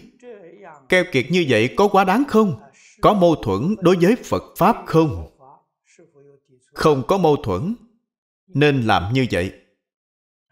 Hiện tại nhất định phải tiết kiệm năng lượng, tài nguyên. Phải tận dụng phế phẩm, tận dụng triệt để. Đây là chuyện tốt. Thứ chín, ông ấy nói, trong năm giới sát sanh, trộm cắp, tà dâm, nói dối, uống rượu, nói dối có khả năng phạm giới bởi vì nhất thời nhanh miệng sẽ nói lời thô lỗ. Tiếp đó là lúc khuyên người thì không dám nói tin phật giáo. Sợ họ nói mê tín, không chịu nghe. Như vậy có chút không trung thực. Bạn không cần phải lo lắng về những điều này. Đối với người không tin phật, khuyên họ ăn chay có lợi ích. Hiện tại khuyên họ ăn chay, bạn khuyên họ từ phương diện vệ sinh bạn nói vi khuẩn gây bệnh trong thịt quá nhiều. Bạn thường ăn thứ này sẽ sanh rất nhiều bệnh quái lạ. Bệnh rất kỳ quái. Bạn nói những bệnh này trước giờ chưa từng nghe nói tới. Hiện tại virus nhiều như vậy. Bệnh từ miệng mà vào. Ăn uống không thể không cẩn thận, không thể không thận trọng. Bạn nói dinh dưỡng của cơ thể, ăn chay đã đủ dinh dưỡng rồi phải nói cho mọi người biết tiêu hao năng lượng ăn uống năng lượng tiêu hao đích thực là 90% trở lên. Tiêu hao vào vọng niệm. Trên thực tế, dưỡng sinh không cần nhiều như vậy. Đồ ăn rất ít đã đủ có thể duy trì thân tâm khỏe mạnh. Bạn khuyên như vậy thì dễ dàng. Đừng nói nhân quả báo ứng, họ sẽ phản cảm ngay lập tức. Họ sẽ không tiếp nhận. Thân thể khỏe mạnh, ai cũng đều hy vọng thân thể khỏe mạnh sống lâu. Thứ mười, ông ấy nói tính cách của con có phải là ngoan cố hoặc cố chấp không? Điều này tự mình trả lời là được, không cần phải hỏi tôi.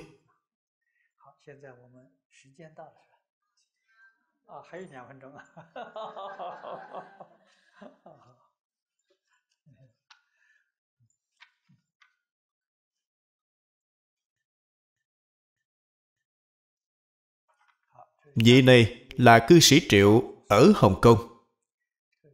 Ông ấy nói, đệ tử và người nhà về cung minh thăm người thân. Sau đó, ở lại trong nhà một vị Pháp Sư năm ngày. Con và vị Pháp Sư đó cùng một người đồ đệ của ông ấy được sắp xếp ở cùng trong một căn phòng. Mỗi tối khoảng 4 đến 5 giờ bị Pháp Sư hút khí. Từ đó về sau, chỗ ngực đau và rất mệt mỏi. Tinh thần luôn không tập trung. Đây là nguyên nhân gì? Chuyện này tôi cũng từng nghe người khác nói qua nhưng mà không nhiều hình như có loại người có thể hút khí của người khác đây không gọi là hút khí gọi là hút dương khí chuyện kỳ quái trên thế gian này rất nhiều đây là nhắc nhở chúng ta. Chúng ta qua lại với người khác, phải rất lưu ý. Phải biết quan sát. Lời nói, sắc mặt. Có một số người, lúc bạn nhìn, cảm thấy có chút không đúng. Chúng ta kính trọng mà tránh xa họ. Hạn chế ít tiếp cận. Vậy là tốt nhất đồng thời, tu dưỡng thân tâm của chính mình rất quan trọng. Nếu tâm địa của bạn thanh tịnh từ bi, những phương pháp của họ không có hiệu quả đối với bạn. Những tà thuật này có hiệu quả đối với chúng ta. Vẫn là bản thân chúng ta có nhược điểm. Bản thân thực sự có chút đức hạnh, gọi là tà không thể thắng chánh.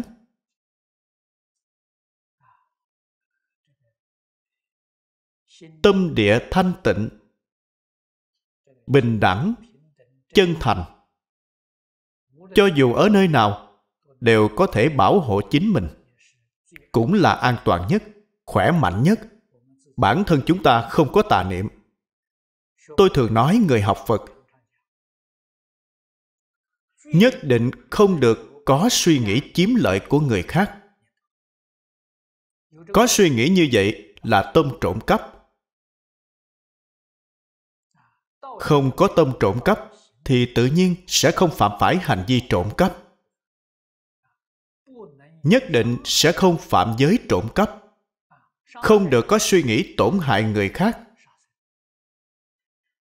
Suy nghĩ tổn hại người khác là thuộc về sát sanh. Bạn có tổn hại người khác, không được có suy nghĩ này. Phải thanh trừ từ trong tâm. Chúng ta làm người thanh tịnh, chính trực. Đây là cuộc đời hạnh phúc nhất, mỹ mãn nhất. Gặp những chuyện này, bạn xem bản thân bạn hiện tại đau ngực, thường mệt mỏi, niệm quán thế âm bồ tát. Cầu phật bồ tát gia trì khôi phục khỏe mạnh của bạn. Tốt rồi, thời gian đã hết.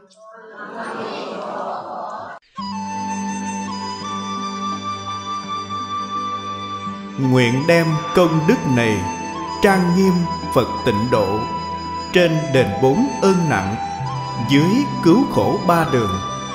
Nếu có ai thấy nghe, đều phát tâm bồ đề.